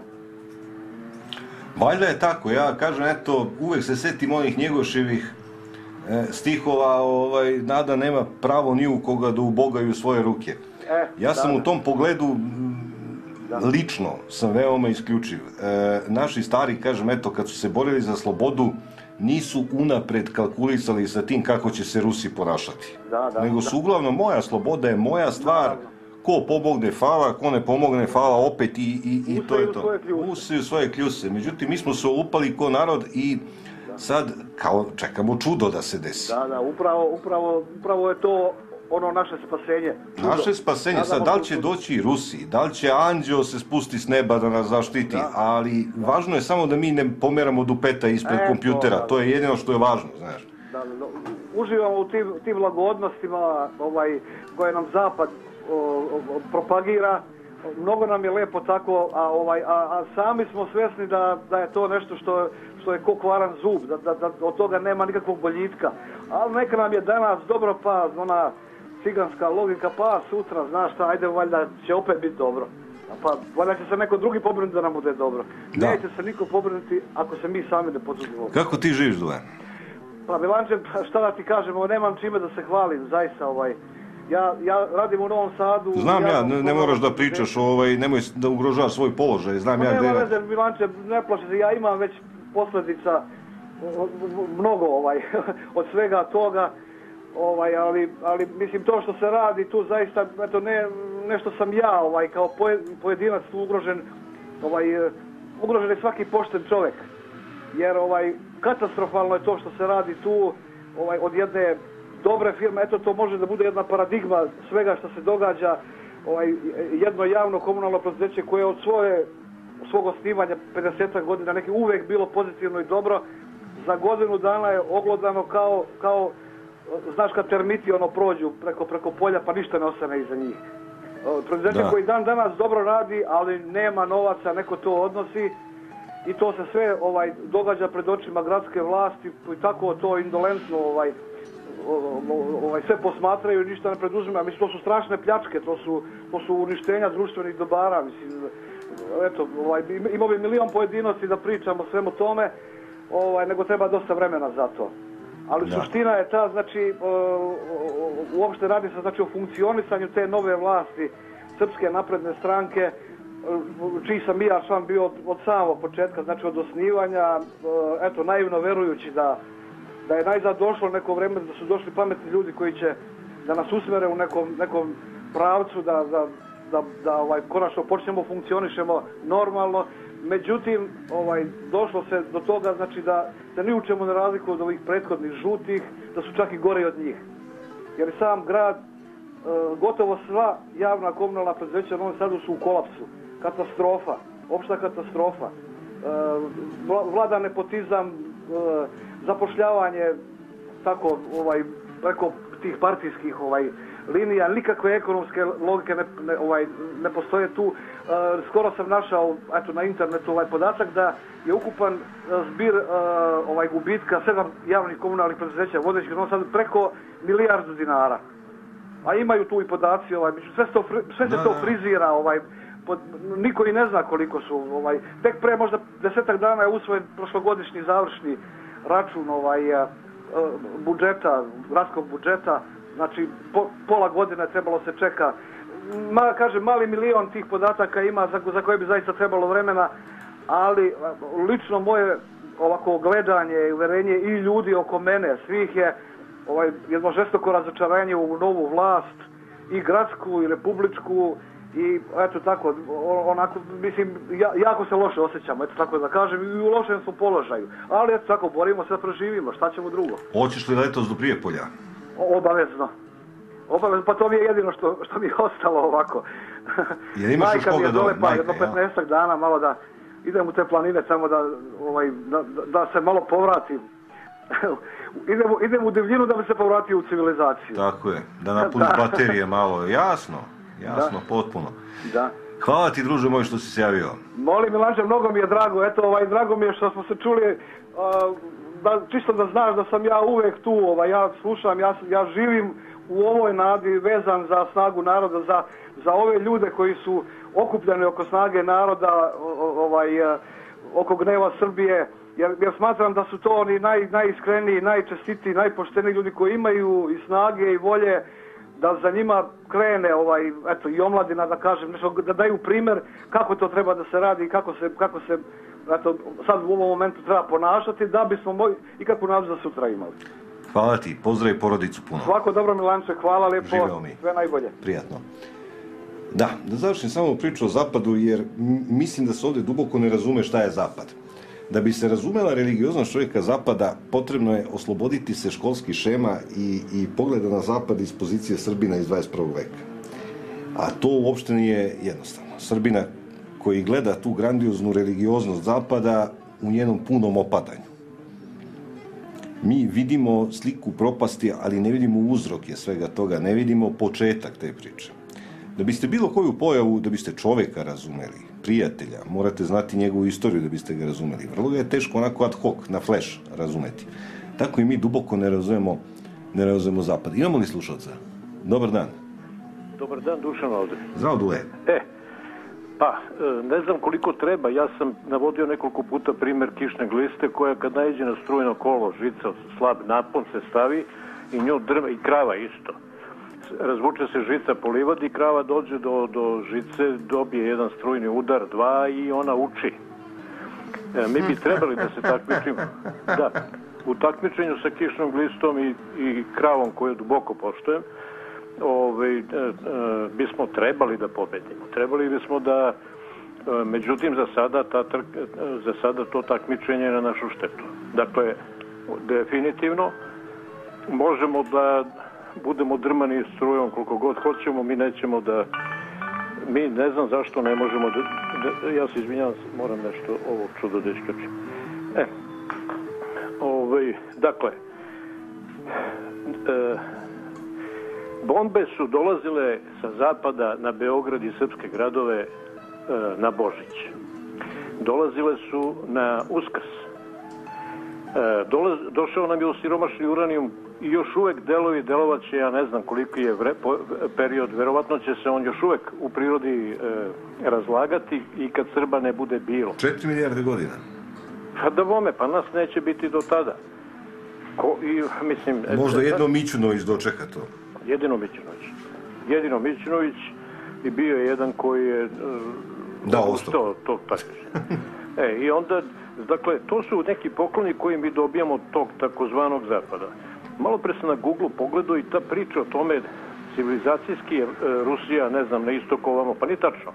Kad se bukvalno povuče onaj kompas e, na sever, E, Rusija, eno, Kaliningrad i onaj ceo, cela ona oblast tamo je na, na e, gledano odavde iz Srbije, iz Beograda, to je sever. Rusija je na severu. Rusija, I šta to znači, ti, ti, te odrednice severo-istok, severo-jug, zapad, ovam te, onam. Interesantno je malo pripomenuo si arhitekturu gotsku koja je puna špiceva i tako. Nije to, to je zaista nešto, špic uvek služi, e, tako, špic je, e, š- vrh špic i tako, to je- ima na maču, ima na nožu, ima na igli, ima na bodežu. Interesantan je, interesantna je ta arhitektonska komponenta koja se kasnije presela u psihologiju, kako da kažem, e, tog naroda koji, eto, samo da okreneš katedralu malo horizontalno, evo ga oružje.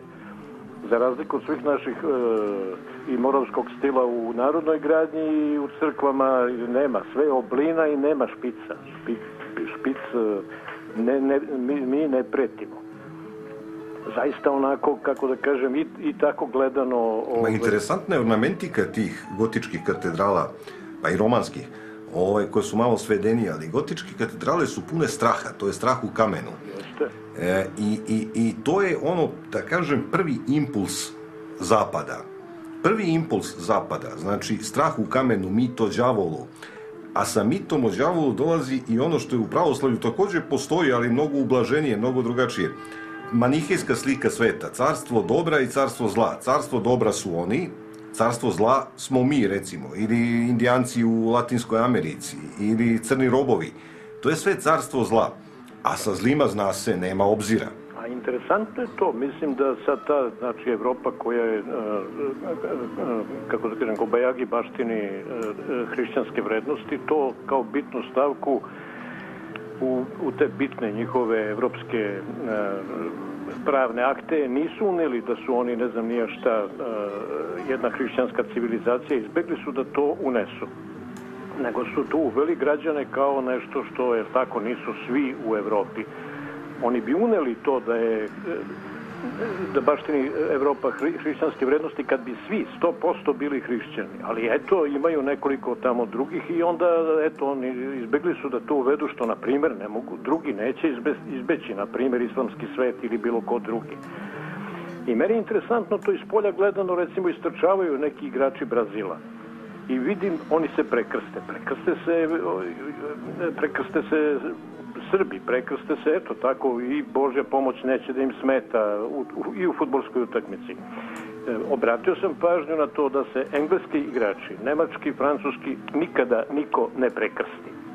Dakle, oni su otprilike tako gledano na tom prostom nivou, jel tako, na toj horizontali futbolskog igrališta i sličnih tih takmičenja, dakle, to kroz te obične ljude, jer nisu baš neki visoko obrazovani futbaleri, šta ja znam, Ove, dakle, dakle, oni su otprilike raščistili sa tim i oni su zaista građani u svakom smislu, dakle, to je jedan e, kako da kažem, nema tu više te komponente, oni su samo e, utilitarnost, dakle oružje, pljačka, osvajanje i pljačka se prilično kosi sa onim ne poželi e, ništa tuđe, njihova civilizacija se kosi sa hrišćanskim načelima. Otud da ta agresija bezočna, znači on ladno može da baci atomsku bombu gde god hoće. U očima zapadnjaka svi drugi su samo kukci, ono, buba švabe, mogu da se znječe. E, e, povod za to jeste jedna rana religioznost, jedno, jedno shvatanje religije, kao u svim kulturama, što shvatanje Boga, religioznost u svakoj kulturi podrazumeva i sve drugo, od matematike do ponašanja u međunarodnim odnosima. Prosto sve je ograničeno tom metafizikom. Eto, imali I ono što je moja osnovna teza, Zapad je e, katolicizam zajedno sa, sa renesansom imao posljednji udar varvarstva. Počeši od, recimo, e, Viljema osvajača koji je osvojio englesku normanskog plemića, pa ovamo negde do konkvistade, tu se završava katoličanstvo, onda počinje barok. Barok koji je veseo i koji se odriče od e, agresivnosti i onda se kao reakcija na jedno umirivanje katoličanstva pojavljuje u većoj meri, u većoj meri postojilo i pre toga, protestantstvo koje hoće e, povratak na prvobitna učenja, znači novu agresivnost. To je ono što je, mislim, ostalo skriveno kod naših političkih teoretičara, nisu uočili taj moment da je Malaksalo, Malaksalu katoličku ekspanziju oživela, e, oživelo protestantstvo. I ti pogledaj danas, kad pogledaš koje su zemlje danas vrlo agresivne, da li je to Italija, da li je to Španija, da li je to Francuska, katoličanstvo se davno odreklo ekspanzije, ali zato je tu VASP Amerika, je tako, Velika Britanija, uglavnom protestantska Nemačka, dakle oni su motori e, novog ekspanzionizma i imperializma. Katoličanstvo je malaksalo, mi ga na nesreću poznajemo kroz Hrvate.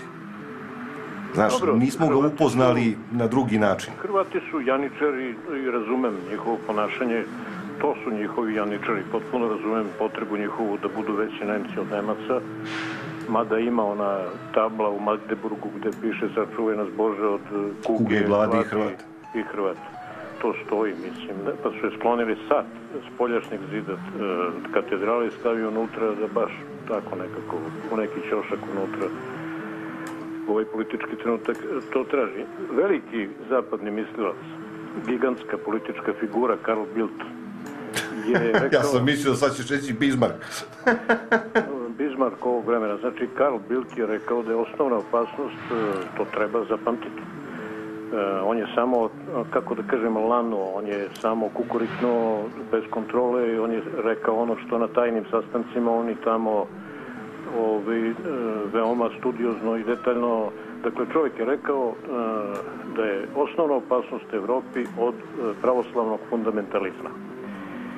Dakle, kako sada e, vrednovati sve ono što je on radio na, na Balkanu ovde i petljao se u sve moguće stvari, kad je to u stvari od uvek bio čovjek koji ima takav jedan vrlo neprijateljski stav prema evropskim narodima koji su pravoslavni.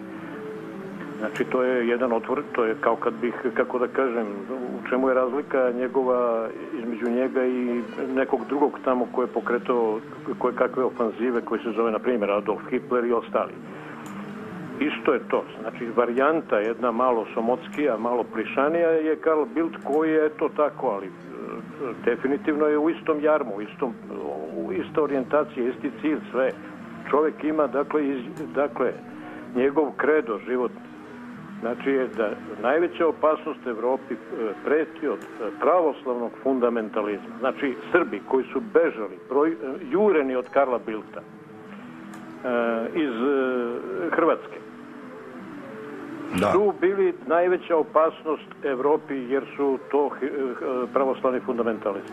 Da, Oni koji su da. zaklani u glini, koji su uplivali ni Savu, koji su prošli kroz ođak Jasenovca, su bili opasnost za, za Evropu jer su bili pravoslavni fundamentalisti. Pa su pravoslavni fundamentalisti ovi koji su najureni sa Kosova i tako. Znači to su te činjenice koje mi vidimo, te zapadne vrednosti, dakle, oteli su nam Kosovo. Uz, njih, uz njihovu pomoć, bez njih nikako nije moglo da se, mi nisu mog, nije bilo moguće najuriti Srbe iz Hrvatske.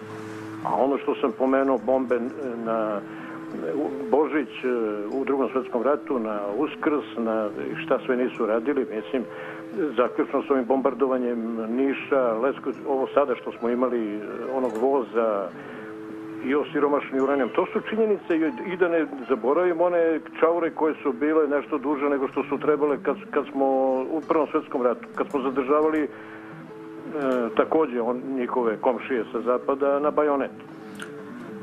Brdo tih fakata ima, dakle to samo, e, a šta zbunjuje srpski narod po meni?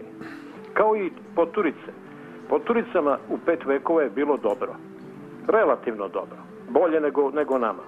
Znači, i mi smo nekako, tako, e, tako isto kao poturice, tako nas zbunjuju Srbi koji dolaze sa zapada. Znači, oni ipak dođu sa 1000 evra, sa 2000 evra, dođu, s- evo ovdje imamo čoveka u Malom Požecu koji ima penziju priličnu, zapadnu penziju i mi svi pocrka smo jer on je dokaz toga da eto tamo se dobije više znači a, kako da kažem taj novi poturicizam samo sad nema veze sa istokom nego ima veze sa, sa znači on je tamo bio tamo je dobio tu veliku penziju tamo i on i evo i sad je došao ovdje mi se svi strašno nerviramo jer celo selo ne zaradi koliko njegova penzija I imamo, znači, čitave buljuke ljudi koji se slugerenski motaju oko njegovog dvorišta, jel treba da ti se oreže ovo, jel treba ti se ošiša ovo, e tako, jel? E tako imamo mi puno tih naših e, ljudi na zapadu koji ne vole Nemce, koji ne vole ove sve gde su zaradili pare, ali ipak su, kako da kažem, pošto sve gledaju kroz to svoje debelo crevo, pogled im tu, spuštene oči imaju. Znači, dakle, pare. E to zbunjuje sada Srbiju jer tamo se bolje živi, tamo znači bolje je biti e, vari, ova varijanta e, kako da kažem poturčenjaštva. Nisam ja to dobro sad složio to, ali Dobro, razumeš šta hoćeš da kažeš, Da, hoćeš da, da, kažeš, nisam pa ja to to uvijek dobro- isplativije. Da, da, ali suština je u tome, znači nas zbunjuje tih nekoliko stotina hiljada Srba na zapadu koji, koji nisu tamo srećni, ali tamo pare zarađuju. Meni to liči kao i na prostitutku, mislim, ona ne verujem da uživa u svakom svom aktu, ali, ali e, ona uveče prebroji pare, prebroji pare i kako da kažem, eto, meni to na to liči, ja rođake imam tamo, čak imam neke koji perfektno žive na zapadu, u tom njihovom e, da ima tih dolara koliko god hoćeš, ali ja sam video tu patnju u Ciceru, kvart u Čikagu, da oni pate patnja, ozbiljna patnja i red kod nekog tamo Tomija koji prodaje kiseli kupus. Znači imaju sve, imaju džipove velike kao moja kuća, sve to imaju, ali kiseo kupus i to su ti neki e, refleksi, neki onako mirisi e, zavičaja. Ne može da zameni ona sintetika koju jede, jedu tamo. Mi smo svi sazdani od... po 200 kila, ali ne, može, ne može da zameni miris rodnog kraja, džibre. Evo, mi, mi, Milane, je tako? Kako da miris ne? džibre uđe jedan puta u nos u detinstvu i to je nešto što nosiš celog života. Ne, i što si stariji, sve se više okrećeš tim ranim senza- senzacijama. Znaš, kad imaš 30 godina, onda ti sve to nije mnogo važno, ali kad pređeš 50-u, što kaže Njegoš, sve smo više u carstvu duhova, znaš, ono, sve se više vraćamo precima i, i, i osnovama. I tako je valjda čovjek sazdan, valjda tako i treba da bude. Pa znam, ali ja to, znači šta sada imamo, znači e, orijentacija prema tim vrednostima, znači tamo se satreš da bi imao džip koji ima 6000 kubika i ne znam nijak ček, čeka četiri auspuha i ne znam nijak koliko točkova, dakle satreš svoj život za apsolutnu besmislicu ili za kućerinu koju otplaćuješ robsi koje kakve kredita na zapadu neprekinu, apsolutno jednom ropskom odnosu i u panici, panika, mi gubimo posao ovde, ali nismo u tolikoj panici kao što su oni na zapadu. tamo kad izgubiš posao i, i ne možeš da otplaćuješ kredit, pa to, to je stvarno najstresnija moguća situacija. Nama ništa strašno nije. Ni na kolcu da budemo, ni da izgubimo posao. Mi više pričamo da, da je to panika izgubiti posao i ne znam nije šta. Mi se snađemo, kako da kažem... U, Ma imaš bre porodicu, imaš nekog ko će te izdržava dok, dok ti ne krene. Ma izvučemo se, mi to znamo da manevrišemo na tom minimalnom prostoru. Oni su, oni ako ne budu to što rade tamo i ako ne mogu da otplaćuju kredit jedan mesec, oni su, nema, čovjek se ubije, ne, on ne, ne zna šta da radi. Kata, u imaju ne samo to, nego razorena porodica, jer se posledice tog užasa osjećaju i to je, to je katastrofa. Oni su vrlo isfrustrirani, zato su slepo poslušni tom tamo sistemu i režimu, zato što more, on, kod njega je biti ili ne biti da bude šraf u tom mehanizmu. Ovde će čovek nekako da se snađe, makar taj rezervni položaj na staroj planini, da se vrati u dedinu kuću. Da. Tako da, kako da kažem, mislim, imamo šanse u tom smislu imamo šanse zato što su te ipak nije sve sjajno ovde. Nije, nije izglancano nije pr... znaš kako kaže Momo Kapor vrlo simpatično priča. Jednom davno kaže ovde išao si na pijacu i sad se vraćaš pijace kupiš novine ali ti fali 10 dinara.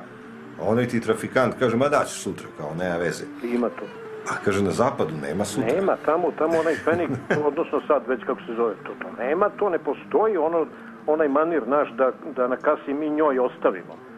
Ma kao nije važno, daj si, ne, ne, ne, ona te juri, ne, ona mora ti vrati tu, i sve je tako. Sve je tako, tamo je to Bog, definitivno.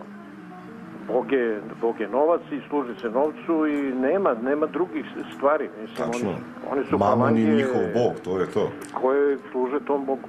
I skazit će, evo da uzmemo da računamo koliko je Belgija pobila ljudi širom sveta da bi imala. Rekao sam jednom prilikom, kad bi oduzeli Londonu ono što je opljačkano, to bi bio Kolašin ili, ili Leskovac. To, bio bi u tom rangu kad bi sve skinuli ono što, što je dovučeno sa svih strana sveta. I, I oni se sada ponose i ne znam ja šta, imaju, ne znam, Westminstersku opatiju, ne znam ovo, ne znam ono, levo, čoveče, ali nemaju ništa. To je sve sramota što imaju sve sramota. Kao kad bi se ja dičio tim sad opljačkam, pobijem ovde moje komšije i ne znam, napravim kuću od 20 pratova i sad sam ja glavni, a, a, a, a, a mesto vode u, u malter sipana krv njihova. To je ta civilizacija. Takva je to najagresivnija civilizacija koja se digla ikad. Ja mislim, znaš, kad bi Attila Bić Boži ili, ili tako neki krvolok iz stare epohe mogao da vidi Mauthausen, mislim da bi zanemeo. Ili Auschwitz, ili Jasenovac мислим да не би верово да луѓи то луѓима раде. Како па индустрија смрти, како па како како данас што се кокошки, ја не знам тачно баш како тоа изгледало. Веројатно некако машина, неки роботи, ово оно. Е тако се они радили се на Тако, тоа е било, значи, капацитет тог крематориума Јасеновце толики, дакле денемно мора да ту оде кроз одек толико и толико. Е, о, индустрија смрти.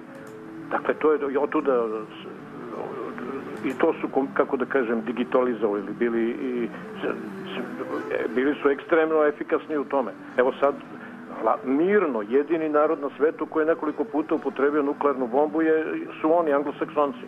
Mirno baciš na civilni cilj, mirno baciš na, na, na Hirošimu. Kakve veze ima Hirošima sa ratovanjem? Kakve veze ima? Da, da, Zapad nema, nema tu neku jasnu predstavu o zločinima kao isto. To je a onda potpuno... vide šta su radili pa baci na Nagasaki. A onda posle, ne znam, izmisle varijantu pa se to, ne znam, nija, da se vlasi ne dosete, zove osiromašeni uranijum. Još podmuklija varijanta, pospeš to narod i ono nema neke, kako da kažem, prevelike eksplozije, ovamo nam ali šteta ista. Pa, mislim, neverovatno. A, ajde sada da pomenemo, ne znam, uh, ratni zločin i, pa gde je to u svemu tome? Ka, kako suditi monstrumima koji su najjači na svetu i koji mogu da rade šta hoće i koji to urade koji nemaju moralna načela, ne, on to mirno, evo u Evropu, bacio osiromašeni uranijum. Da, da, da, da, nikakav problem. I taj osiromašeni uranijum zasu i šiptari, makedonce i crnogorcima, nema veze. I ko, pa, na kraju krajeva i njihovu bazu u Bonstilu. Na kraju I njihovu bazu u Bonstilu i, da, da, njihove trupe. Potpuno su indiferentni. Ne znam koliko Italijana umrlo od posljedica ne toga. Se, da. Ba, baš ih briga. to je sve, kako da kažem, oni to, to je njihova ta kolateralna šteta, pa čak i, okvir, i baš i briga. Da, da. Samo da im- imaju tamo ono u plusu da budu toliko i toliko. Dule, hvala ti lepo, Hvala druže. Prijatno, evo ga Brana na Skype-u. Alo, Brano, jesi još tu? Pomož Bog jeste Bog to. ti pomogao, ja zdravo. sam čovjek strpljiv čovjek. Dobro, ja sam dobro. Mi stariji smo istrpljiviji, tako je. Mire, nego hteo sam da ovaj, prvo da se izvinim ovaj, slušalcima zato što sam zajahao na Skype. E, nisam mogao telefonom nikako. Ovako i tema je interesantna, mogu da, e, da priznam. Premda nisam sve čuo, s obzirom da ovo malo na Skype-u, pa onda ne možeš stream baš tako da pratiš, premda ja to umem, znaš, da se namestim. Ovaj, e, dobra ti tema, potpuno se slažem sa masom tvojih e, stavova, mislim da su dobri, ali to što se ja slažem ne znači Da smo i ti ja u pravu, tako je. kvalifikacija kvalitetna, jel? Mislim, tvog izlaganja, jel? Ali ovaj, upravo se, mislim, nigde, nigde Hrista nema sve e, strah e, đavolom, plašenje i s druge strane obožavanje ovaj, kraljice neba, mislim, to kod, kod, kod njih, ali to je, nažalost, i kod nas u, u Srpskoj pravoslavnoj crkvi u stvari isto ugrađeno na određeni način. I onda ako to, o toj temi samo se usudiš da staviš naslov na, na, na, na ovaj izlaganje, e, neće dobro da prođeš. E, Boga mi, u pravu si. Prilično je napeta stvar. Kad gledaš, tu, tu si u pravu. E, jer cela istorija na zapadu, istorija vere je istorija istiskivanja Hrista iz e, e, e, vere i instaliranja nekih drugih stvari. Recimo, mit o đavolu i o devici Mariji, oni su nadrasli Hrista kao mitovi još u, u 10. 11. veku. A što se tiče crkve, ona je tamo uvela jedan mehanizam koji na istoku nikad nije uveden, a to je ispovest. Ima i ovde ispovesti. Ali tamo je ispovest povezana sa oproštenjem svakog greha. Znaš, tako da je moral do kraja relativizovan. Ti možeš da uradiš šta god hoćeš, ti unapred znaš da će ti biti oprošteno. To je onako za, za slabije duhove ozbiljan poziv na zločin. Znaš, ako ti, čak je bilo slučajeva da su unapred davali e, oproštaj. Da, znam, znam. Što je onako za ne- neke naše pojme, mada se i kod nas dešava jedna vrlo interesantna stvar, da i ovde istorija, da je Hristova pojava, istorijska pojava nadrasla reči Hristove. To se dešava i kod nas, polako se ta promena zbivala. Tako, iz prostog razloga što bi Hristove reči danas vrlo teško optužile e, mnoge, pa čak i mnoge crkvene velikodostojnike. Kad bi se pozivali na same Hristove reči, znači ne na njegovu istorijsku pojavu. Da, da. I ovde se odigrava jedan čudan proces u tom pogledu, ali u svakom slučaju e, e, kultura zapada je bitno agresivna i kada je prestajala da bude agresivna, onda je protestantstvo uzelo mah, pa je ono postalo agresivno. Ono je spaslo tu vikinšku, spaslo mislim, ono je sačuvalo tu vikinšku crtu čoveka zapada. Kad se katoličanstvo umorilo, protestantstvo je preuzelo barjak i danas je protestantstvo zapravo e, svetski hegemon.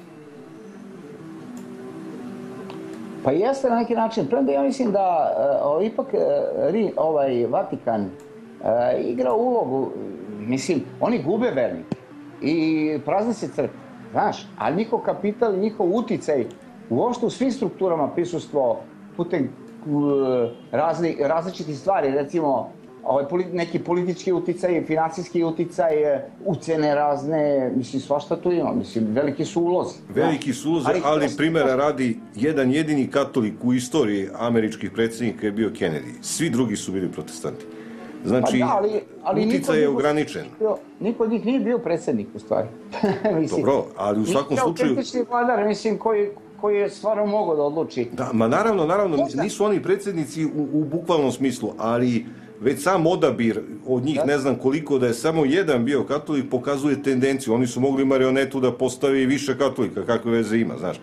Ali drugačija je priča, oni prosto, protestantstvo je danas e, e, onaj življi deo zapadnjačke religije. Pogledaj danas ali- Italiju, Španiju, pogledaj e, Portugal, pogledaj te katoličke zemlje. One su uglavnom e, daleko manje ekspanzionističke nego one protestantske. Ne, protestantstvo je samo potpuno po- promenilo, da, ovaj, pomirilo, da kažem, taj materijalni svet i neko učenje. Samo treba znati da u suštini ovaj protestant, od protestantizma, mislim da kažem možda Luterovog tipa ili ne znam Kalvinovog, danas nije ostalo u suštini ništa, razumeš? Kao, znači, odgovor na ono sve što je e, Rimokatolička crkva radila prodavanjem onih oproštajnice i svih tih obožavanjem, mislim, Marije kao u, principu Astarte, odnosno Artemide ili već e, čega li, Oj, bunili su se protiv toga, međutim to se stopilo. Danas hrišćani bukvalno čine samo jedan nevidljivi deo u stvari sveukupnog e, one populacije koje, se, koje, nomina, koje nominalno kao hrišćanstvo. Znači i među katolicima i među protestantima pravoslavnih, to je koliko to skoro milijarda i 800 ili ne znam koliko, ukupno. Mili, milijarda 500, 800, ne znam koliko ljudi. Međutim, niti ti ljudi imaju neki odnos prema veri, to je jedna stvar. A nikako istinu u suštini da prođe i ono se nalazi kod relativno manjine koje prilično i da kažem proganja, neću da kažem da ja spadam u tu manjinu, ali na neki način, znaš. A vidiš, kod demokatolika sve ona zločini su opravdavani na osnovu toga što se može kupiti da kažem, ta oproštajnica i za grehe upokojenih, razumijem. I onda su oni uveli uh, ovaj pojam purgatorijuma, odnosno čistilišta. A to u suštini, to niko ne kaže, napada se, a to postoji kod nas. Sve one zadušnice i molitve u principu služe da bi se ova duša opravdala i pomerila odakle. Znači ona mora biti na jednom srednjem mestu da bi se, ovaj, da bi se ona ili definitivno usmerila ka raju ili kao pakao, o tome ne sme, o tome ne sme se pričati. Zamolio bih te, ako je moguće, Vladimir Dimitrijević je pravo, pravoslavni o, i on o tim temama neće pričati, ali mislim da treba da on dođe, ali mislim da treba i Miroljub Petrović da, da dođe. Jesi tu? Tu sam, slušam te. A, e, da dođe evo iz kog razloga. E, on ima neke stvari, on je neki protest, protestant, zapravo on spada ove mesijanske, valjda, jevreje, ali ne, ne znam, razumeš, jer on tu ima nekoliko teza koje su neprihvatljive. Teza o tome da duša posle smrti ne postoji, eventualno spava, to je teza koja ne odgovara, mislim, učenju ovaj, svetog pisma. I druga priča ovaj, o hiljadugodišnjem carstvu realno na zemlji, ali u stvari jevrejskom, razumeš, ne Znači, jevrejsku star, praktično starozavetnom, to je pogrešno učenje, dok su oci učili o tome da, da će biti hiljadugodišnje e, carstvo, ali sa, znači, sa svetima, sa svetima uh, u, u, u, u ovaj, duhov, duhovnim telima, znači tu su hrišćanski svi oni mučenici koji su pravično živjeli i sa pravednicima starozavetnim. Znači, da bi se vas postavila stvar, da bi se ti starozavetni u stvari upoznali Hrista živog i biće, biće u, u Jerusalimu će i dalje biti žrtva za te. Znači, za te starozavetni i tako dalje. Međutim, to se odreće, tu temu ne smiješ da pomeneš. Ja sam snimio preko 100, 100 i nešto predavanja pravoslavnih na raz, po različitim manastirima i tako dalje. I ta arhiva se nalazi, delom se nalazi u, u, na Svetoj Gori u Hilandaru, nešto je, čini mi se ovde u manastiru, sad mu se setim ovde gde je Vladika Porfirije bio. Mm -hmm. E, e, e Znači, bio sam prisutan i šutnuli su me onda kad, kad su na, na neka prosto pitanja koje su se morala postaviti kad sam počeo da pitam, pa je počeo narod da pita i tako da je. Zapravo pre neko pitao iz naroda, a pošto se ja s tehnikom upravljao i tako dalje, bio sam u situaciji povlašćene priče da kad ima ruko da pitam, moraju da mu dostaje, znaš. I stvar je postala neprijatna i posle, u osnovom tako sam otišao od dveri, iz dveri, zato što je neko rekao, onaj, mislim, muti pita svašta. Razumeš? Ali bi te zamolio da se ta tema malo hrabrije poč, počne obrađivati, jer ovaj narod stvarno živi zatvorenih oča. Da, uz, uzgled, da, evo... Smatra da je pravoslavan, a u suštini zapravo ne... Da, dobro, ne narod je takav kakav je, ne možeš ga ti naterati batinom u raj, to je besmisleno. Narod svata kako svata, to, tu pomoći neke velike nema. E, teo sam ti skrenem pažnju na jedan odličan članak, kad si pomenuo Vladimira Dimitrijevića, imaš odličan članak njegovo, mislim da ćeš naći na novom standardu, odličan članak o tome kako je Nemačka okupirana i kako samo sledi američku politiku, što je afirmisao, evo moje stavove koje danima ovde iznosim da pa, Angela Merkel nije gospodar od uh, politike Nemačke, tako da, eto, pročitaj to i mislim da je potpuno na tragu onoga što mi pričamo ovde. Brano, hvala ti, imam uh, nove veze, živeo mi. Prijatno. Halo, dobar dan. Dobar dan Milane, Šole ovde. Zdravo Šole, izvini zbog čekanja, ali tako si nekako nesrećno uleteo u, u, u redosled. Evo je sad i, i, i Mirjana. Problem, pa pazi, kad da. slušam, slušam nešto što je, ajde kažemo, dobro, pa može čovjek da nauči. Kaže, ovaj, ja bi, ja bi o, sad evo na, na završetak ovog svog prethodnog slušalca, znači samo rekao, E, Hrist je rekao, blago onom ko pover... blago vama što poverovali ste u mene, a tu ste među vama, ali blago onom koji poverovaš u mene, a ne vidiš me. znaš. Da, da. Tako da, ovaj, to Nevernom je, Tomi je to rekao, jel to je da? vrlo jednostavna stvar i tako prosta i tako sigurno udara u, u, u- mozak da, da ko to ne shvati, onda šta da ti kaže. Ne, ja se ovdje ne bavim, da me neko ne bi Jasno, pogrešno ne, razumio, ne, ti ja nećeš. samo ja se ne bavim doktrinarnim stvarima vere, nego sociologijom, prosto vere, E. odnosno religije. Milane, ekonomsko siromašenje Srbije, ovo koje si ti pričao unazad 13-15 godina ili više, znači sve to tako, ovaj, sistematski se to radi, znači narod treba još da bude svestan da to nije nešto što se eto dešava, da su to neki, da kažemo, eh, ad hoc eh, po- po- pojave ili da se to dešava stihijski ili slučajno ili ne znam šta, znači to je jedno sistematsko, znači osiromašenje naroda na, u ekonomskom smislu. E, samim time znači se radi o porobljavanju naših interesa kako spoljnih geopolitičkih tako i unutrašnjih e, so- socijalnih interesa E, sad, ali imamo tu jednu paralelnu priču koja prati to, a to je kulturno-istorijska izmena svesti. To je ovo na što poziva aktuelni premijer.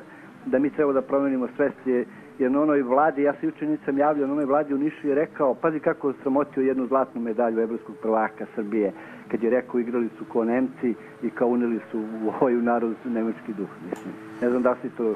Da, ali to je postalo na dnevnoj bazi To je, ruženje da, naroda. Da, da, Da, znači, to ovo više... kulturno-istorijsko e, izmena svesti, u stvari odvajanje naroda od, od, od istorije, od tradicije. Znači njima je interes, zašto? E, Zašto, evo recimo, daću ti primjer e, Hitlera. Hitler je, kad, je, kad, su Hitler, kad su nemačke trupe ušle u Sarajevo, e, on je tražio da mu se iz Sarajeva za rođendan, kao poklon, donese tabla koja je bila postavljena principu, Gavrilo principu ovaj, vezano za atentat koji on tu izvršio. Znači, jedan Hitler, jedan oliko moćan u tom momentu vojna moćna sila, jedan Hitler toliko moćan, je e, tražio da mu se za rođendan pokloni ta tabla, jer je on shvatio veličinu tih reči tog dela koje je tamo izvršeno. Znači, e, to, to je ona Lazareva poruka, ne merim se prema sili kojoj se suprostavljam, nego se merim prema onoj veličini koju zastupam. Da me razumeš? Znači, Hvala Bogu, prema Da. svetinji koje branim. E, tako je. Znači, mi danas treba da razmišljamo na taj način. Da se ne plašimo te sile protiv koje treba da se borimo, nego da se, da se ravnamo sa svetošću koju trebamo da branimo. I naravno da je to sada jedna veoma opasna priča i da oni znaju da ekonomski mogu da porobe ovaj narod. Oni će ga dovesti do, mrcvarit će ga do, do, do, do nemogućnosti da funkcioniše. I tada, kad taj narod dođe u tu nemoć, sa njime onda malo lakše, odnosno lakše manipulisati. Tada ga je lakše odvojiti i od Nemanjića, i od Lazara, i od. Karađorđa, i od Gavrila Principa, i od Vojvode Putnika, Mišića i tako dalje. Znači, ja mislim da je tu osnovna, osnovna ovaj, ta prevaga. Znači, ovaj srpski narod je dozvolio da se ekonomski jeste dozvolio. Realno ovo je sve urađeno pred našim očima. Ovaj, da se ekonomski osiromaši, ostaje sad, ostajemo na braniku te druge priče, znači to kulturno-istorijsko, ovaj, ne, da ne izmenimo svoju svest i da ne, da ne izmenimo svoju potrebu da živimo kao slobodni ljudi ovaj, u jednoj svojoj slobodnoj državi. A, a, kako ja to vidim, kako bi mi mogli da raščavijamo tu priču. Znači svaku, nek, svaki pojedinac u svojoj glavi mora da raščivija da je njegova lična sloboda i njegov lični život u stvari zavisi od opšte slobode naroda i od opštih života naroda. Ako te dve, ako to ne To, shvati, tačno, to smo izgubili. Mi shvatamo samo lično ono spasenje, znaš, ono da ja svoju guzicu spasem, a vi svi tonite. Nema Ličimo lično- malo na one čamce oko Titanika, znaš, Tako ono, je. borba za ulazak u čamac. Znači, nema lične slobode i nema ličnog života, napretka, ispoljavanja svojih vrednosti u svakom smislu, i u verskom, i u kreativnom, i u bilo kom. Ovaj, ne postoji ako se mi odvojimo od tog opšteg interesa, a to znači ta opšta narodna sloboda, ta opšta državnost, ta, ta, taj opšti e, narodni život. A ako se toga odre- odreknemo, izgubit ćemo i na lično. Znači, onog momenta kad raščivijete u glavi da, da ćete dati svoju ličnu slobodu i svoj lični život za opšti interes naroda, za opšti život naroda i za opštu slobodu naroda, tog momenta ćete vi lako naći put i nako, la- lako naći istomišljenike i lako naći grupaciju koja tako razmišlja. Što se tiče aktuelne vesti, Milane, vezano za hapšenje ove dece, iz pokreta Mhm. zajednice. Ja, ja ih nazivam decom, mislim nećeš mi zameriti. Ja mislim da su samo na informativni razgovor pozvani i da nisu hapšeni, ali to već jeste zastrašivanje. E, Dobro, jeste, naravno da jeste zastrašivanje. Evo da ti kažem nešto iskreno, ja sam lično ponosan na njih i na njihov stav i na način na koji su to izrazili tamo na, na, ovaj, na, na, na Kosovu. I što se mene tiče, i ovde kad su bile ove demonstracije, ovih 10-12 hiljada ljudi na ulicama, isto se tako bučno vikalo, i da su lopovi, i da su izdajnici, i da su ovakvi, onakvi, svakakvi, i trubilo se, i zviždalo, i mislim, stvarno je bilo prelepo. Eto. Znači, narod je izneo svoj stav, pa ako treba da, ovaj, da nas sad sve onako, što kaže ono, ovaj, prozivaju da, da ovaj, informativni razgovor bez nikakvog problema. Pa ovaj, neka teraju, evo šta ćemo. Da. Da. To je to, Milance. Hvala ti šole, E, druže. Ništa, brate moj, ja tako vidim stvari i to je to. Pozdrav tebi, slušalcima, živela Srbija. Živeo i ti. Prijatno. Dakle, e, jeste. E, o- Ono o čemu se ovdje radi, šta sam htio da dovedem priču do kraja. Protestantstvo je svoj vrhunac dostiglo sa filozofijom pozitivizma, čiji je jedan od sledbenika sada već i Aleksandar Vučić, naravno površni sledbenika, ne mislim ja da je on nešto ozbiljan sledbenik Webera i ovo, više mu Weber služi kao izgor. Naime, šta se dešava sa pozitivizmom? Pozitivizam je uvod, odnosno teoretski uvod, praktičan, došlo bi, praksa bi došla i bez te teorije, ali e, pozitivizam otprilike kao vodeća misao zapada, koja se kasnije zaogrtala i u drugačije i drugačije načine razmišljanja, otprilike znači e, opravdanje za svaku opačinu. Imaš opravdanje za sve što uradiš. Jer kažeš što jeste, jeste, što nije, nije. Napravio si nešto, opravdao si to funkcionalizmom. Nešto je funkcionalno, pa je samim tim i dozvoljeno. E sad, vi pogledajte kakva to filozofija, kako to može da odjekne u međunarodnoj politici. To je ovo što mi živimo danas. Drugo, u korenu protestantstva je sledeća misao. Ako si bogat, to znači da je Bog pokazao prstom na tebe da si pravednik. I to bi se još nekako moglo razumeti u protestantskom ključu. Međutim, kad Srbin pokušava da bude... Zašto? Protestantstvo se odlikuje protestanti na stranu agresivnost, na stranu zgrtanje love, pljačka i tako dalje. Ali on lično živi skromno. Jer to vera od njega zahteva. A kad se spoje Srbin i protestantstvo, to izgleda ovako. Zgrći, ali nemoj da živiš skromno. Nego daj da se vidi da ti ide. Tako da se vitoperi, prosto eto, to je samo dokaz koliko dve kulture ne mogu međusobno da se sretnu nigde. No, nastavit ćemo u drugom delu, pročitam e, vesti koje su stigle. E, dobro, malo posle. Imam ja dve georgijevske trake viška, mogu da donesem, kaže Miloš. Milošu, donesi, sačuvat ćemo za nadicu. Milorad kaže, možda je ovo neobično što ću ovo reći, a zapravo je tvrdnja jednog mog prijatelja. Ako Rusija ne prihvati ruku Srbije, neće ni malo dobro proći. Može lako da se desi. Teško je tu pametan biti. E, ima osnova ima osnova da budemo nesigurni u pogledu dalje sudbine zbivanja e, u vezi sa Rusijom. Može lako da, ima, ima mesta i, i, i ome i onome.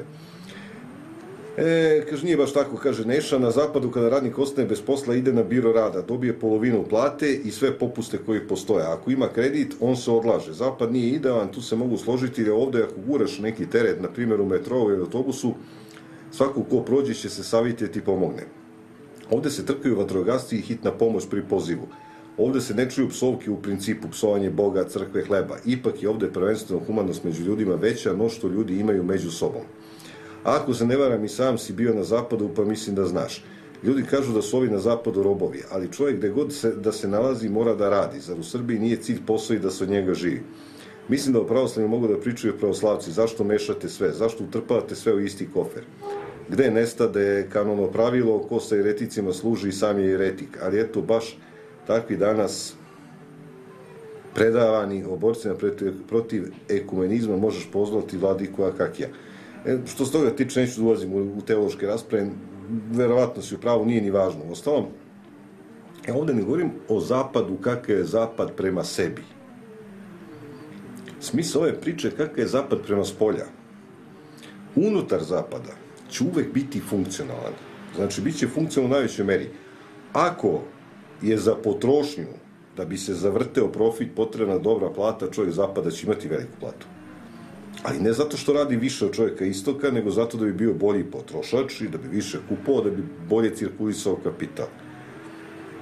Verovatno da postoje, ne da verovatno, nego znam da postoje neke stvari na zapadu koje su bolje rešene nego ovde. To je van spora. Mi živimo u zemlji u kojoj ne može se reši ni jedan banalan problem. Poplave, prskanje komaraca, šumski požar, ovde je sve zadatak.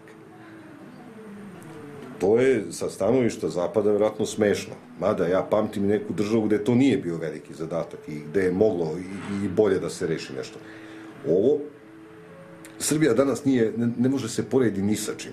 Ti kad ovde kažeš radnik ode na biro pa dobije polovinu plate i sve popuste koje postoje i tako dalje. Nekad ovde nisi mogao da dobiješ otkaz. O tome se radi. Mi smo u civilizacijskom padu, zapad je u civilizacijskom padu velikom, a mi puta tri. Mi se mnogo brže regresiramo nego zapad. I to je ono što, što stvara, što kaže ovde, optičku varku. Kaže Žarko, greška rekao je da ortodoksna politika koja vodi Rusiju opasnost po Evropu. Misliš na ovu izjavu da beše Karla Bilta? Od prilike, ali smisao, u smislu nije pogrešio. Ortodoksna politika, pravoslavna politika, jer na zapadnim, prevashodno germanskim i, i, engleskom jeziku, ortodoks znači pravoslavac. Tako da, ne verujem da, da, da je greška u tome. Ask Audio kaže, preporučujem knjigu Neymar i savremene Evrope. Niz majstorski napisanih portreta i nemilosrednih svedočanstava o najistaknutijim vladarima i državnicima koji su krojili sudbinu Evrope. Jedna od najznačajnijih i najinteresantnijih knjiga koje su se pojavile posle rata prevedeno je na srpski 1932.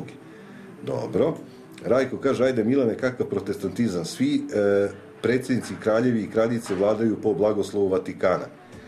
Rajko, protestanti sve mogu da prihvate sem blagoslova Vatikana. To nemoj da se zavaraš. Engleska kraljica je protestant.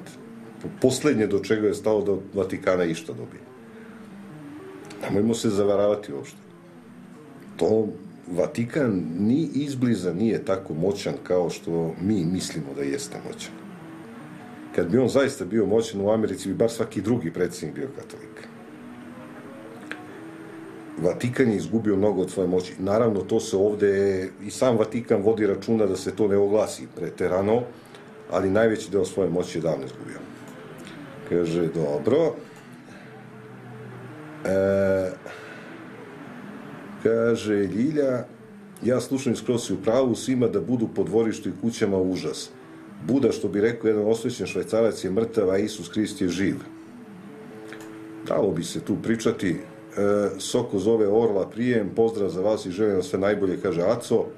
Inače, vest koja je propuštena, pogledajte link, stara je vest. E, Srbin kralj američkih kasina. U bre, upropastiće Ameriku. E, idemo na pauzu, samo sam ponovno za nekoliko minuta.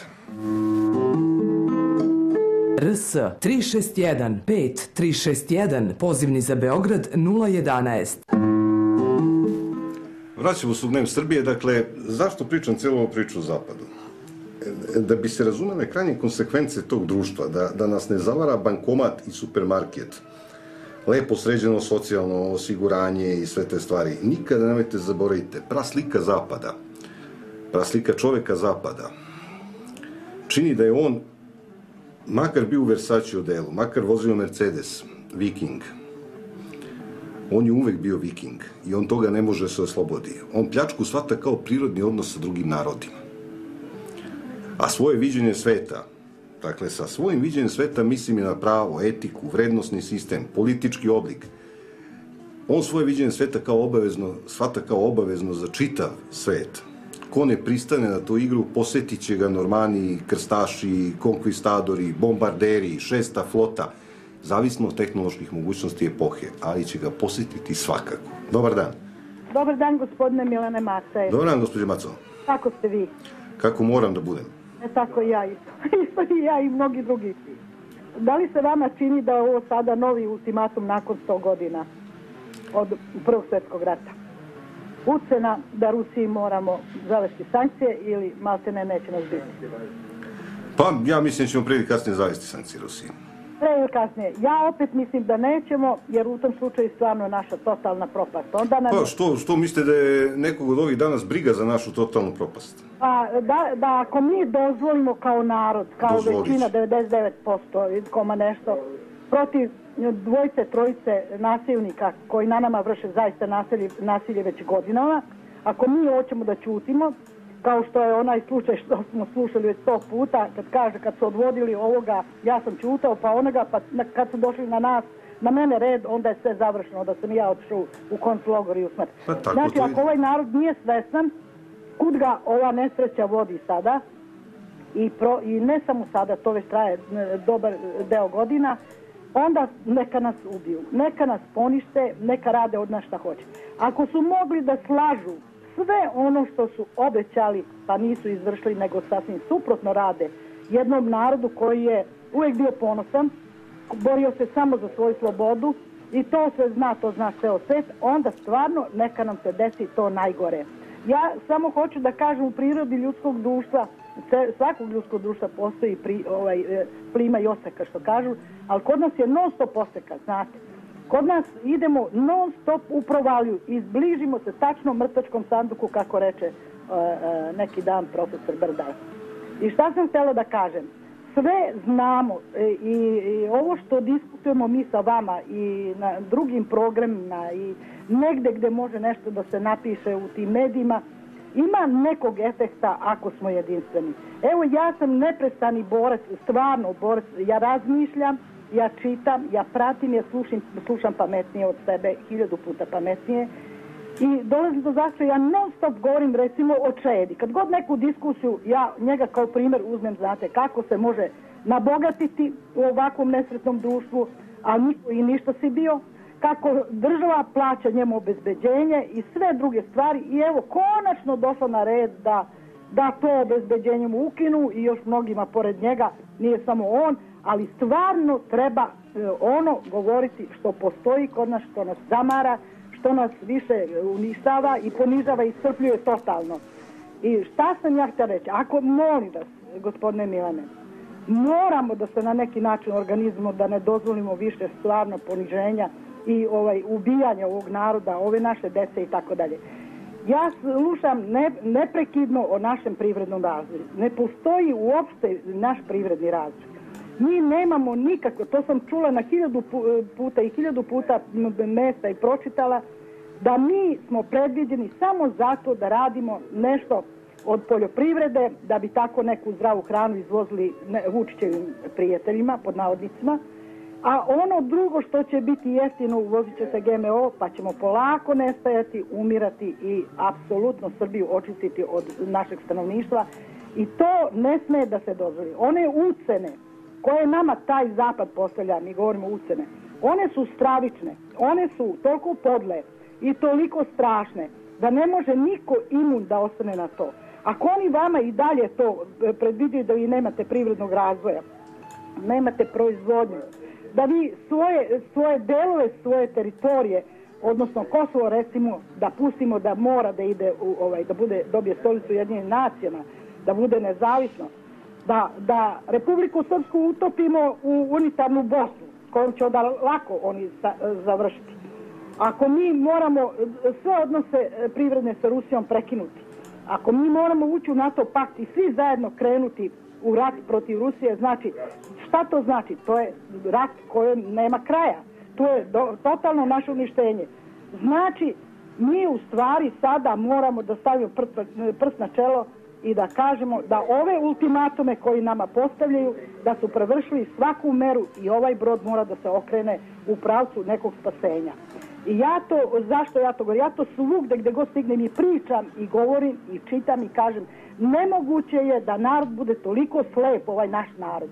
Da ga toliko, on, oni, oni koji su, baš skoro jedan čovjek lepo reče na jednom radiju, znate vi penzioneri sada kukate što će vam smanjivati penzije, a niste vodili računa za koga ćete glasati. A ja se gospodine Milene pitam, za koga ste vi mogli glasati kad nigde nikog drugog niste, nije dozvoljeno nikom da se vidi ni da se čuje, a u ove su uložene milijarde i na svim programima samo su oni i samo obećanja i obećanja i prevare onda taj narod i on se plače. Taj narod kuka na sve strane sada. E, da do toga ne bi došlo, ja mislim da se mora stvarno napraviti neki zakon.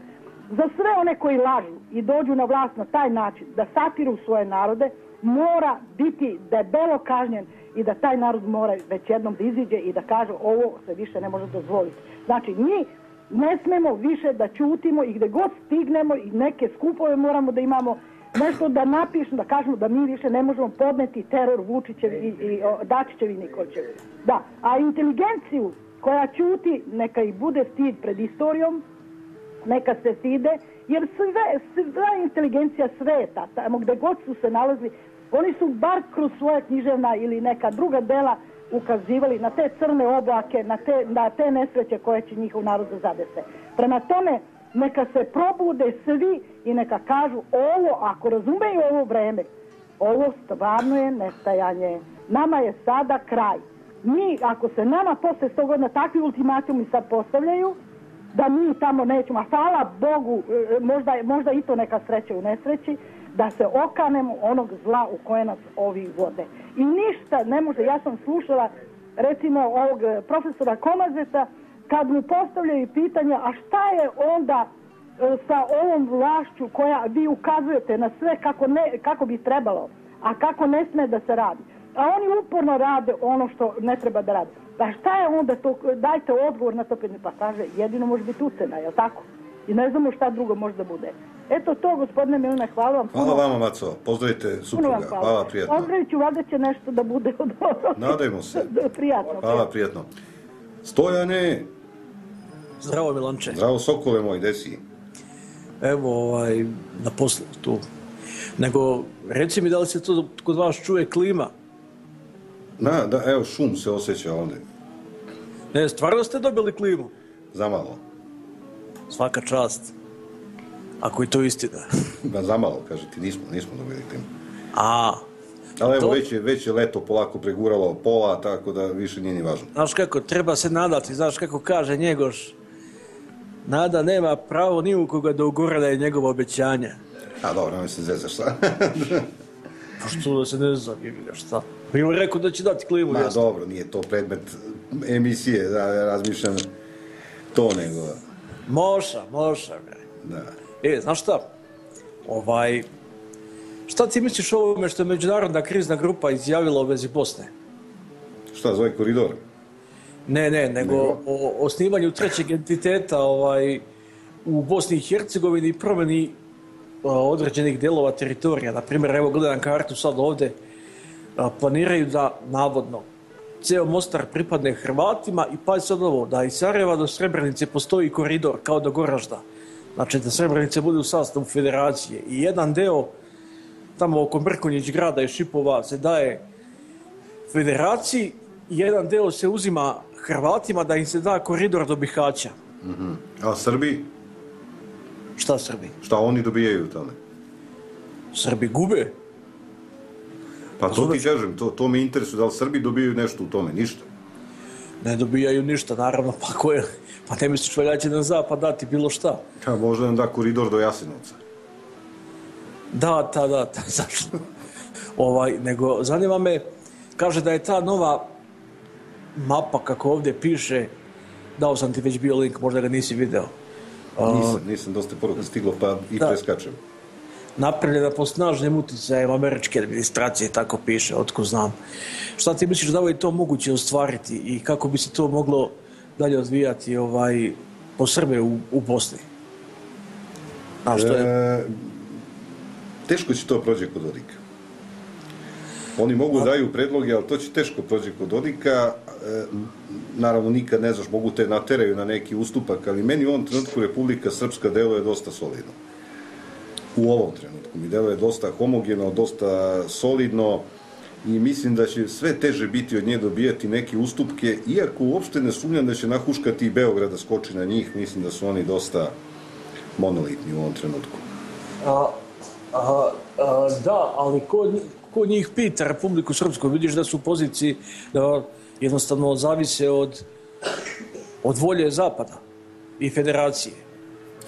Pa zavisi i ne zavisi. Više mi zavisimo od zapada nego što zavisi Republika Srpska. Da, da. Više mi zavisimo od zapada. Republika Srpska zavisi onoliko koliko je neki apsolutni minimum, koliko mora da se istraguje. A ovde se ne trguje, ovde se pristaje na politiku sve za ništa. Samo za još malo opstanka na, na, na funkcijama. Čak neću da kažem na vlast, jer vlast ne pripada ovim ovde ljudima, nego na funkciji, eto. Dobro, ništa, to sam teo da te pitam. U ostalom vidjet ćemo kako će se stvari... kako će se razvijati. Oni su i do sad imali vrlo egzotične predloge, pa nijedan nije prošao. Tako da, ne znam. E, ono što je prošlo, prošlo je do pre 4-5 godina. To je prolazilo, od onda ne mogu se setiti da je nešto prošlo. Od Da. poslednje je bilo kad se vojska, napreda vojska ovaj, Federacije BiH, pa ne znam, tu ušla i vojska Republike Srpske, ali opet su ostali u svojim kasarnama, jer da se nešto zajedno služe vojsku, to bi zlo bilo. Da, da, Nego se slažem. samo tako zovu, mislim. Dobro, Milanče, ništa. Živo mi. Prijatno. Dobar dan. Dobar dan, Milane. Zdravo. Miki, Milinko iz Ivanjice.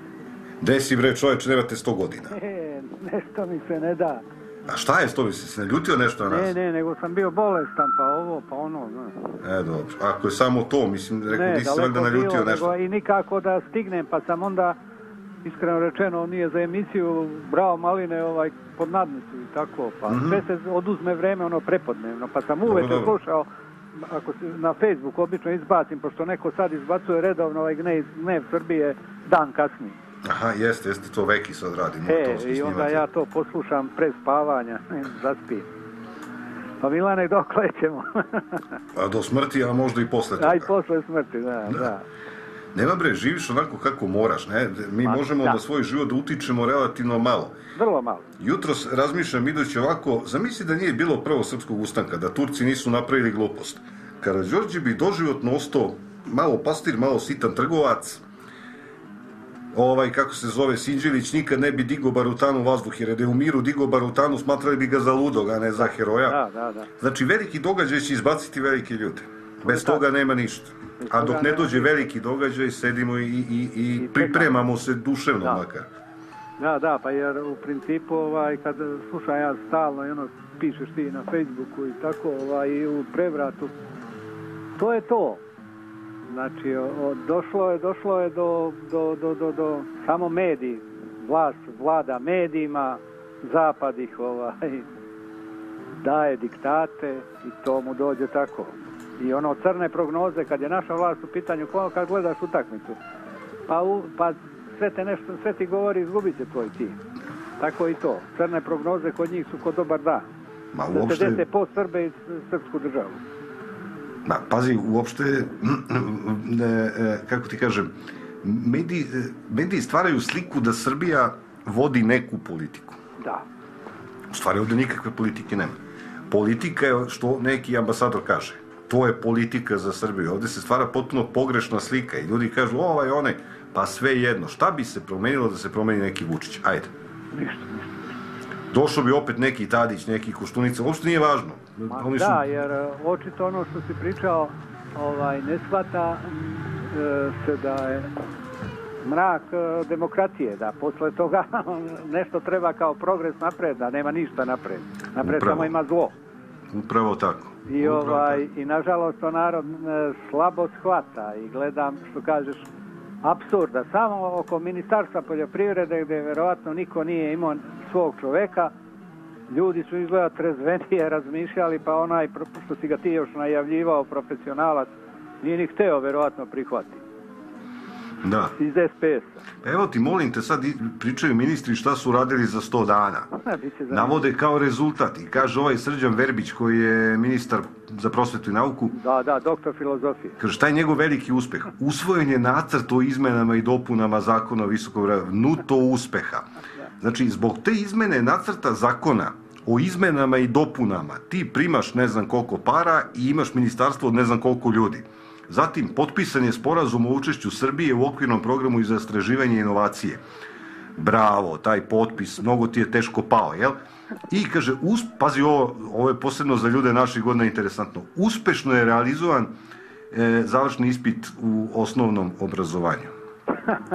Uspešno je, da li si ikada video da neko kaže da je mala ili velika matura uspešno realizovana i da ministar to sebi ubroji kao plus? I to se nikad, to se kad smo mi bili nije ni pominjalo. Pa ne to ko kad bi sad šofer rekao uspešno je sipan benzin, pa kako misliš da voziš bez benzina, razumiješ, to ti spada u neki opšti, nije vredno pomena.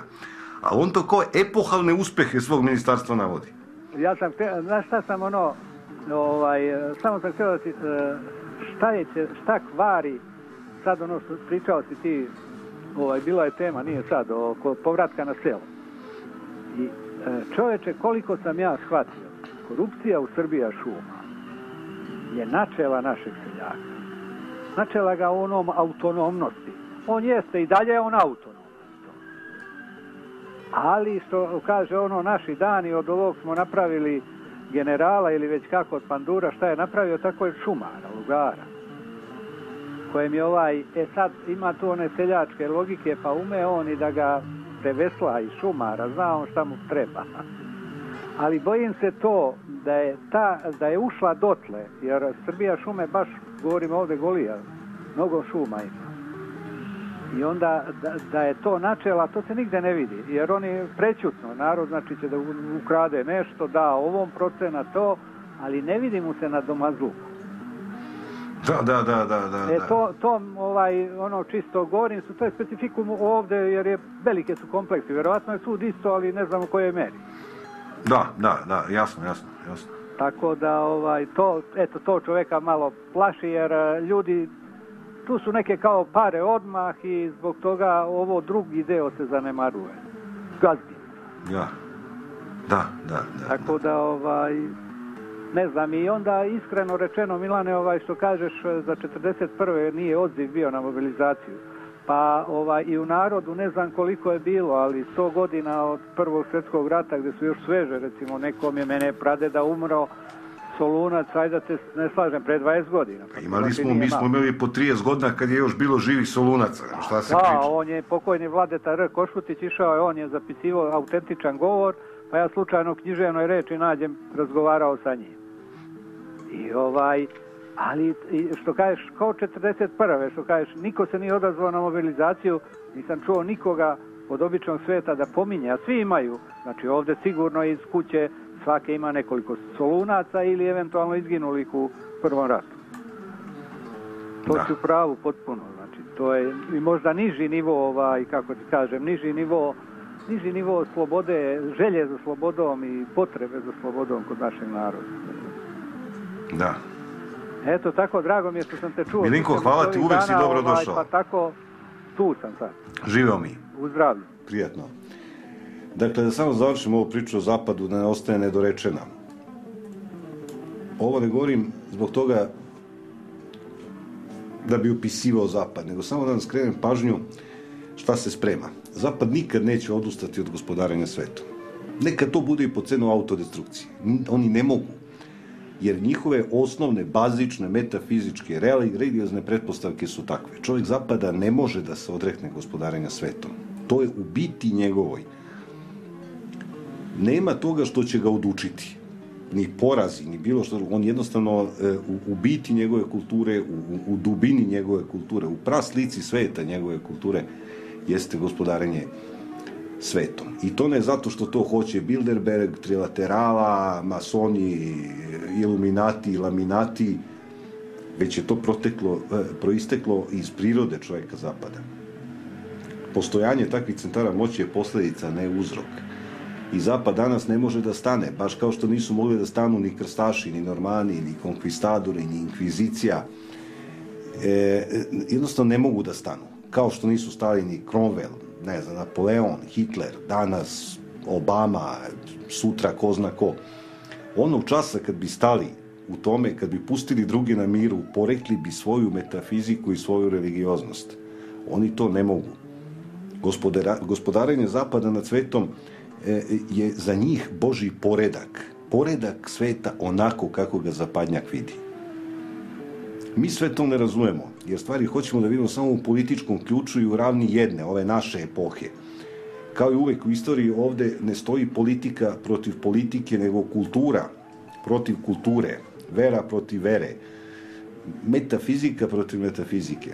politika je ovde samo pozadina jednog događaja velikog koji se odvija u kulturi. Zapad nema kud i mi nemamo kud. Oni moraju da probaju da zavladaju planetom, spasavajući svoju metafiziku, a mi moramo se odu prema tome spasavajući svoju metafiziku. Nema tu ljutnje. To je tako.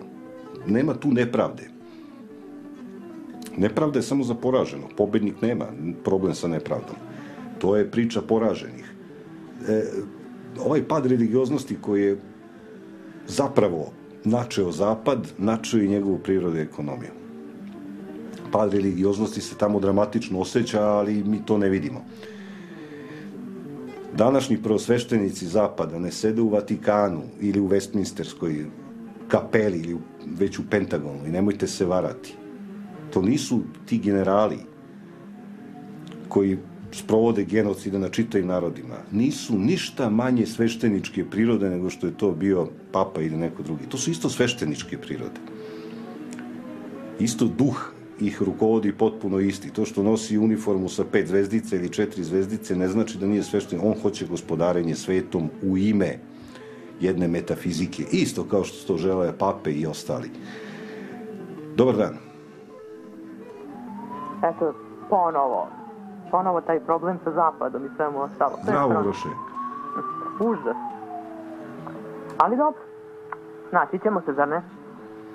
Pa bre, ja ti kažem, mi nemamo gde, oni nemaju gde. To, Tako to je. nije pitanje izbora. Nama se čini da postoje izbori u istoriji. U stvari, izbori su vrlo skučeni. Pa vrlo malo izbora imamo. Kao što su i oni imali vrlo malo izbora. Pogledamo, e, pogledamo samo srednjovekovnu Englesku, Francusku, Nemačku. To su severne zemlje, siro, izuzetno siromašne, gladne, kao što i Španija bila siromašna i gladna. Da. Njihova žeđ za osvajanjem dolazila je upravo zbog toga. Dakle, siromaštvo, glad i sve ovo ostalo ih je po, poticala da grabe i da idu napred, da idu napred, da idu napred, to da osvajaju i da on Nisam siguran da je tako. E, Pa, zato- Normani koji su bili relativno bogati su napali relativno siromašnu Englesku. To je tačno, ali oni su se tukli oko, oko prestola, Francuska i Tako Engleska je, što se tukle. pokazuje da postoje dublji motivi od gladi, jer na kraju krajeva to što su konkvistadori doneli u Španiju ili u Portugal. Šta misliš, koliko je seljak španski i portugalski video toga? Pa ne baš mnogo, video je, video je raskošnu crkvu u svom selu i to, To. je to. Ali on sam živo i dalje u neolitu, ništa ga nije spasavalo. Da, ali Španija i Portugalija su dosta trgovački nap- počele da napreduju. Gradovi su počeli da rastu, pa su ti seljaci, oni sposobni, počeli da beže u gradove i da se bave zanatom i špekulacijom, a toga nije bilo dok nije došlo, dok nije došla konfiskvada, to jest dok prvo nije došlo e, četvrti krst, e, bože, treći krstaški rat, kada su opljačkali Carigrad. To je bila prva inekcija ekonomska zapadu, pa su vidjeli da im se ipak pljačka isplati, pa su krenuli u dalje pljačke. Dakle, to je bila naučna, e, oni su sa istoka doneli veliko zlato, ali nije toliko zlata doneto koliko je knjiga doneto i koliko je nauke doneto iz Bizantije. I to je, i to je dalo impuls na prvom mestu Italiji da postane ono što jeste, renesansna država, a kasnije da se to proširi po čitavoj zemlji. A Englezi, odnos Engleza i Francuza, da to je jednostavno odnos dinastije. Normanska dinastija se pocepala, Burboni su ovamo došli na vlast i onda su se e, jednostavno jed- dve grane jedne iste dinastije tukle dok, nisu, e, dok se nije završilo da ih Romani proteraju. Dakle, oni to nije bio imperialistički, nego je čisti rat e, ponosa. On je kralj, on želi da bude kralj Francuske jer mu je to od njegovog pra, pra, pra, pra dede ostalo.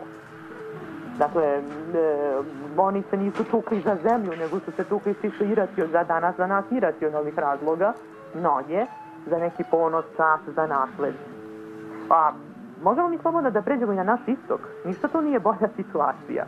Znači, nije Rusija nastala ovolika kolika je danas, e, time što su oni seli da se mole Bogu i, zamo, i Bog im dao. E, nego su oni prodrali u Sibir vojno. Prodrali su i u Kazahstan vojno. Da, Znači, to je istina. ruska vojska je čak stigla na Aljasku. Dakle, nisu oni nikakvim, e, nisu oni uopšte, Rusi uopšte nisu u tom svim osvajanjima bili ni slatki, ni lepi, ni dobri, ni kulturni. Dakle, oni su vrlo bezobrazno ucenjivali i Gruzine i Jermene da bi dobili njihove teritorije na Kavkazu. Dakle, tu e, nisu Gruzini, nisu Jermeni Sloveni. Nisu Aze, Azerbejdžanci, Sloveni, tako da ne nabrajam sve neslovenske narode u Ma Rusiji. jasno, niti pišu čirilicom zato što su baš to želeli, to Naravno svoje da istorije. Znam ja to. 15% stanovništva današnje Rusije uopšte nije, nije slovenskog porekla. To su neki narodi za koje mi čak nismo ni čuli. E, Plemena za koje mi nismo ni čuli. Mordovi, Marijeli, Jakuti, Čukči i tako dalje tako dalje. Jeveneki, nebitno. Znači, veliki deo ruskog naroda, današnje što mi smatramo Rusima, uopšte nisu Rusi. Uopšte, znači oni ni kulturno, ni jezički, ni na bilo koji drugi način nisu Rusi. I sad mi imamo na, jedan paradoks. Na zapadu imamo, evropskom zapadu, imamo razvaline starih carstava koja se polako još doraspadaju. Evo sad je skoro izašla e, izašla inicijativa Francus, u Španiji da se država federalizuje, što je jedan po meni jedan korak napred, jer ako se Španija bude federalizovala, to će spasiti da se konačno ne raspadne je, e, jednostavno u Britaniji vidimo šta se događa, Britanija puca po šavovima, po nacionalnim i tako dalje i tako dalje. Dakle, i e, imamo jednu jedinu preostalu imperiju na zapadu, to su Sjedinjene američke države. One su nastale osvajanjem po zapadnoj matrici. Na istoku današnjem mi imamo najmanje tri ogromne imperije. Znači, bez obzira što je Sovjetski savez nesto, Rusija je i dalje imperija. Ki Narodna republika Kina je imperija i nastavak kineskog carstva, bez obzira što ideološki nisu isto, ali to je nastavak kineskog carstva. I na kraju tu je Indija. Japan je razvalina japanskog carstva i nikada se, i nikada se neće vratiti na staru slavu, jednostavno to je tako. Dakle, imamo tri, imamo tri carstva, drevna carstva. E, u dva drevna carstva, se izvinjavam, i jedno, hrišćan, i jedno hrišćansko carstvo, koje sad, koji dan danas postoji. Dakle, isto nastalo osvajanje. Ni- Nisu ni kinezi bili niti dobri, niti, niti milosrdni. Velika država se ne stvara ni milosrđem, ni molitvama, ni postovima, nego osvajanjem i prolivanjem krvi nevinih ljudi. Znači, tu mora da budemo načisti. Da, jeste, Engleska je imala Henrija VIII. Jeste Henry VIII e, napravio anglikansku crkvu. Je da bi se ženio sto puta. Ali Rusija je imala Petra Velikog. Naši pravoslavni, ja po neki put volim stvarno da kažem u džakedini, mada ne volim stvarno taj izraz, ali ovo, drugo srbijanci su za neke stvari stvarno u pravu. Dakle, pet car Petar Veliki je ukinu, e, kad je umro pa- pa- patrijarh, kad je on došao na presto, ubrzo posle umro patrijarh. Zabranio je da se Ruskoj crkvi da izabere novog patrijarha. Sve dok nije zbačen car Nikolaj II. Romanov, nije, pos- nije moglo da se uspostavi patrijaršija u Rusiji. Jer carski dvor to nije dozvoljavao. Naprimjer, to, to je malo poznat podatak, dakle, da od cara Petra Velikog do zbacivanja Romanovi, ruskom crkvom vlada sinod na čijem celu, čelu je car. Znači, isto kao u Engleskoj. Potpuno isto. U Engleskoj je ca, e, carica Viktorija, ne znam, kra, e, kralj Edvard i tako dalje, oni su na čelu crkve, a u Rusiji su carevi bili na čelu- crkve. Potpuno isto, potpuni protestantski princip. E, A, pravo, a kao pravoslavna zemlja. Mislim kao, naravno da jeste pravoslavna zemlja, ali kako, kako je to moguće?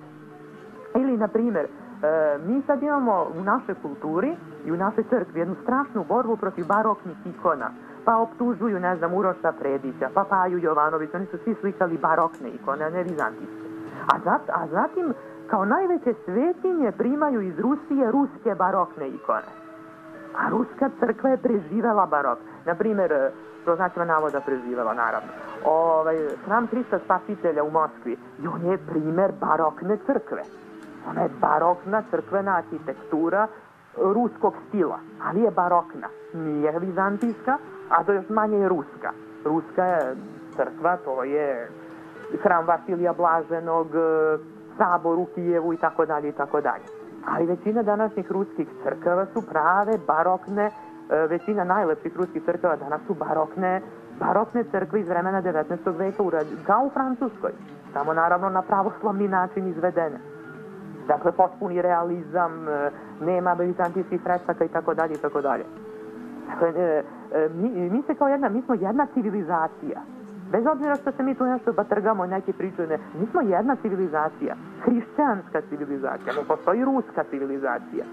Mm, ne dele se tako civilizacije moj Uroše, one nisu, e, ne može se reći da uopšte postoji hrišćanska civilizacija, nikad nije postojala. Pa ne misle, mi imamo neke osnovne, hrišćani imaju neke osnovne vrednosti za koje se zalažu ili se ne zalažu, ali makar i e, deklarativno hrišćani kažu da, im je, da vole bližnjega svog, da sve deset Božih zapovetelja, da se tako izrazim. To je nešto, ta filozofija na kojoj počiva čitavo hrišćanstvo. Ne, naravno, ne računam protestante, mislim na katoličko i na pravoslavno hrišćanstvo. Ovaj, i e, koje su oni osnova je, da se tako izrazi naše civilizacije. To je ono što se naziva starom hrišćanskom civilizacijom, katoličanstvo i pravoslavlje. Dakle, a, protestantizam je nešto što se kasnije odvojilo. Ono su stvorili neku kulturu, ali ta kultura se bazira na katoličanstvu. Protestantizam je izraz taj katoličanstva. Na to, na to mislim. Zato, zato ne smatram, e, jer jednostavno da biste bili civilizacija, vi morate da imate mnogo, mnogo, mnogo, mnogo više od toga nego, na primjer, što ima Rusija. Rusija ima mnogo, ali ona nema dovoljno da bi bila civilizacija. Nemamo ni čak mi svi zajedno u Sloveniji, prija pravoslavci da se udružimo pa i dodamo sebi Grčku, opet nemamo dovoljno da bismo bili civilizacija. Jer nam nešto ostaje i tamo. Ostaje nam nešto na zapadu. Nešto od zapada što smo dobili. A, ni, a nismo to čak ni tražili, jednostavno to su uticaji. Zbog toga ne možemo jedni bez drugih. Ni oni ne mogu bez nas, ni mi ne možemo bez njih. Kao na primjer, kada bismo izbacili zapadnu civilizaciju od, iz nas, iz naše kulture, morali bi momentalno da, spus- da srušimo Dečane. Momentalno. Jer Dečani su romaničko-gotička crkva. Prava romaničko-gotička crkva. Sve, znači, užasni e, te, te prikaze, grifoni, poluživotinje, nakaze, to sve može da se nađu na ukrasnoj plastici, ukrasna plastika dečana, s polja. Ulazna vrata na dečane, jedno je, imate dva venca, jedan je na desnoj, jedan na levoj strani. Na desnoj strani je venac, e, venac, kako se dobro sećam, venac nepravednih, odnosno zla, a na levo je venac pravednih, ili obrnuto, nije ni bitno. S jedne strane su čudovišta koja proziru duše, među njima je i dvoglavi orao kao simbol vlasti, znači e, čak su i naši vladari govorili da je vlast zlo. I s druge strane e, su e, pozitivne, pozitivne prikaze, baš onako kao što imamo po zapadnim crkvama. Studenicu isto, studenice romani, e, po nekim ob- osobinama, e, isto romanička crkva. A priprata studenička, ona što je dozidana ispred, je gotička. Sve je kao raketa, ako ste primetili, ako ste bili u. Kako ne? Sve, cela je kao raketa.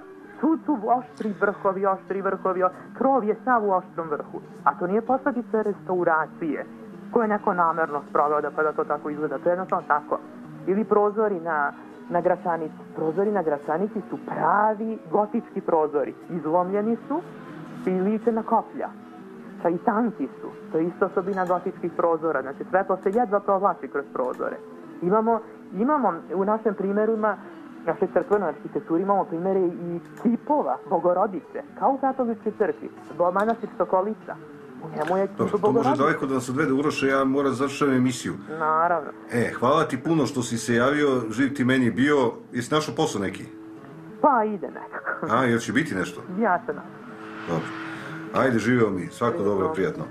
E, za kraj, pošto sad za neki minut ulazi koleginica Dijana, pa neću da joj ulazim u termin, e, Žarko piše, e, nije problem što si opljačkao, šta si opljačkao, nego šta si ostavio. Rusko carstvo je, na primjer, u Dagestanu ostavilo operu u biblioteki univerzitete škole. Francuska i Engleska na Srednjem istoku su ostavili haos i pustoš. Ima i toga, mada sam na nešto drugo mislio. E, zapadna civilizacija je ostavila iza sebe takve tekovine, i dobre i loše. Ostavila i Michelangelo, ostavila i Auschwitz. E, jedna vrlo rastegnuta civilizacija. A sa druge strane, ovo što mi zovemo čak neću reći da postoji uopšte ikakva ruska ili pravoslavna ili slovenska civilizacija, ona se još nije ni rodila da bi se o njoj tako govorilo. Ali tačno, Rusija je uglavnom prodirala u pusta područja.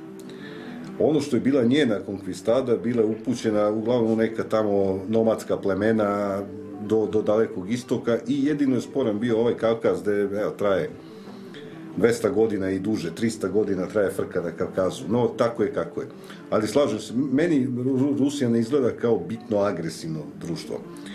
E, Dragoljub kaže, prilog istraživanja cene kilovata od juče, ono što smo pričali električne energije, 3 kilovata je platio 430 dinara. Pozdrav ekipi. E, to je ono o čemu sam govorio. Tvoj kilovat je sad 140 i nešto dinara. Šta ćemo sad s tim, da pitamo ministra Vujevića? Šta sad s tim? Je to najjeftiniji kilovat u Evropi? Platio si preko evra kilovat. Ajde sad nek to objasni. E, Zoran kaže, odne, od nedavno sa posljednjim zadovoljstvom slušam vaš program, živim u Dizeldorfu u Nemačkoj. Dizeldorfu u Nemačkoj. Zorane, drago nam je da, da, da nas slušate, eto, prenesite i ostalim zemljacima našim. Drago nam je ako, ako je program dobar, koliko možemo u ovim vrlo skromnim i materijalnim i tehničkim uslovima, pa i kadrovskim. Hvala vam što ste bili danas s nama, uskoro će u studiju ući koleginica Dijana Milošević, Vek i ja smo sutra s vama ponovo od 10 časova. Želim vam prijetno popodne.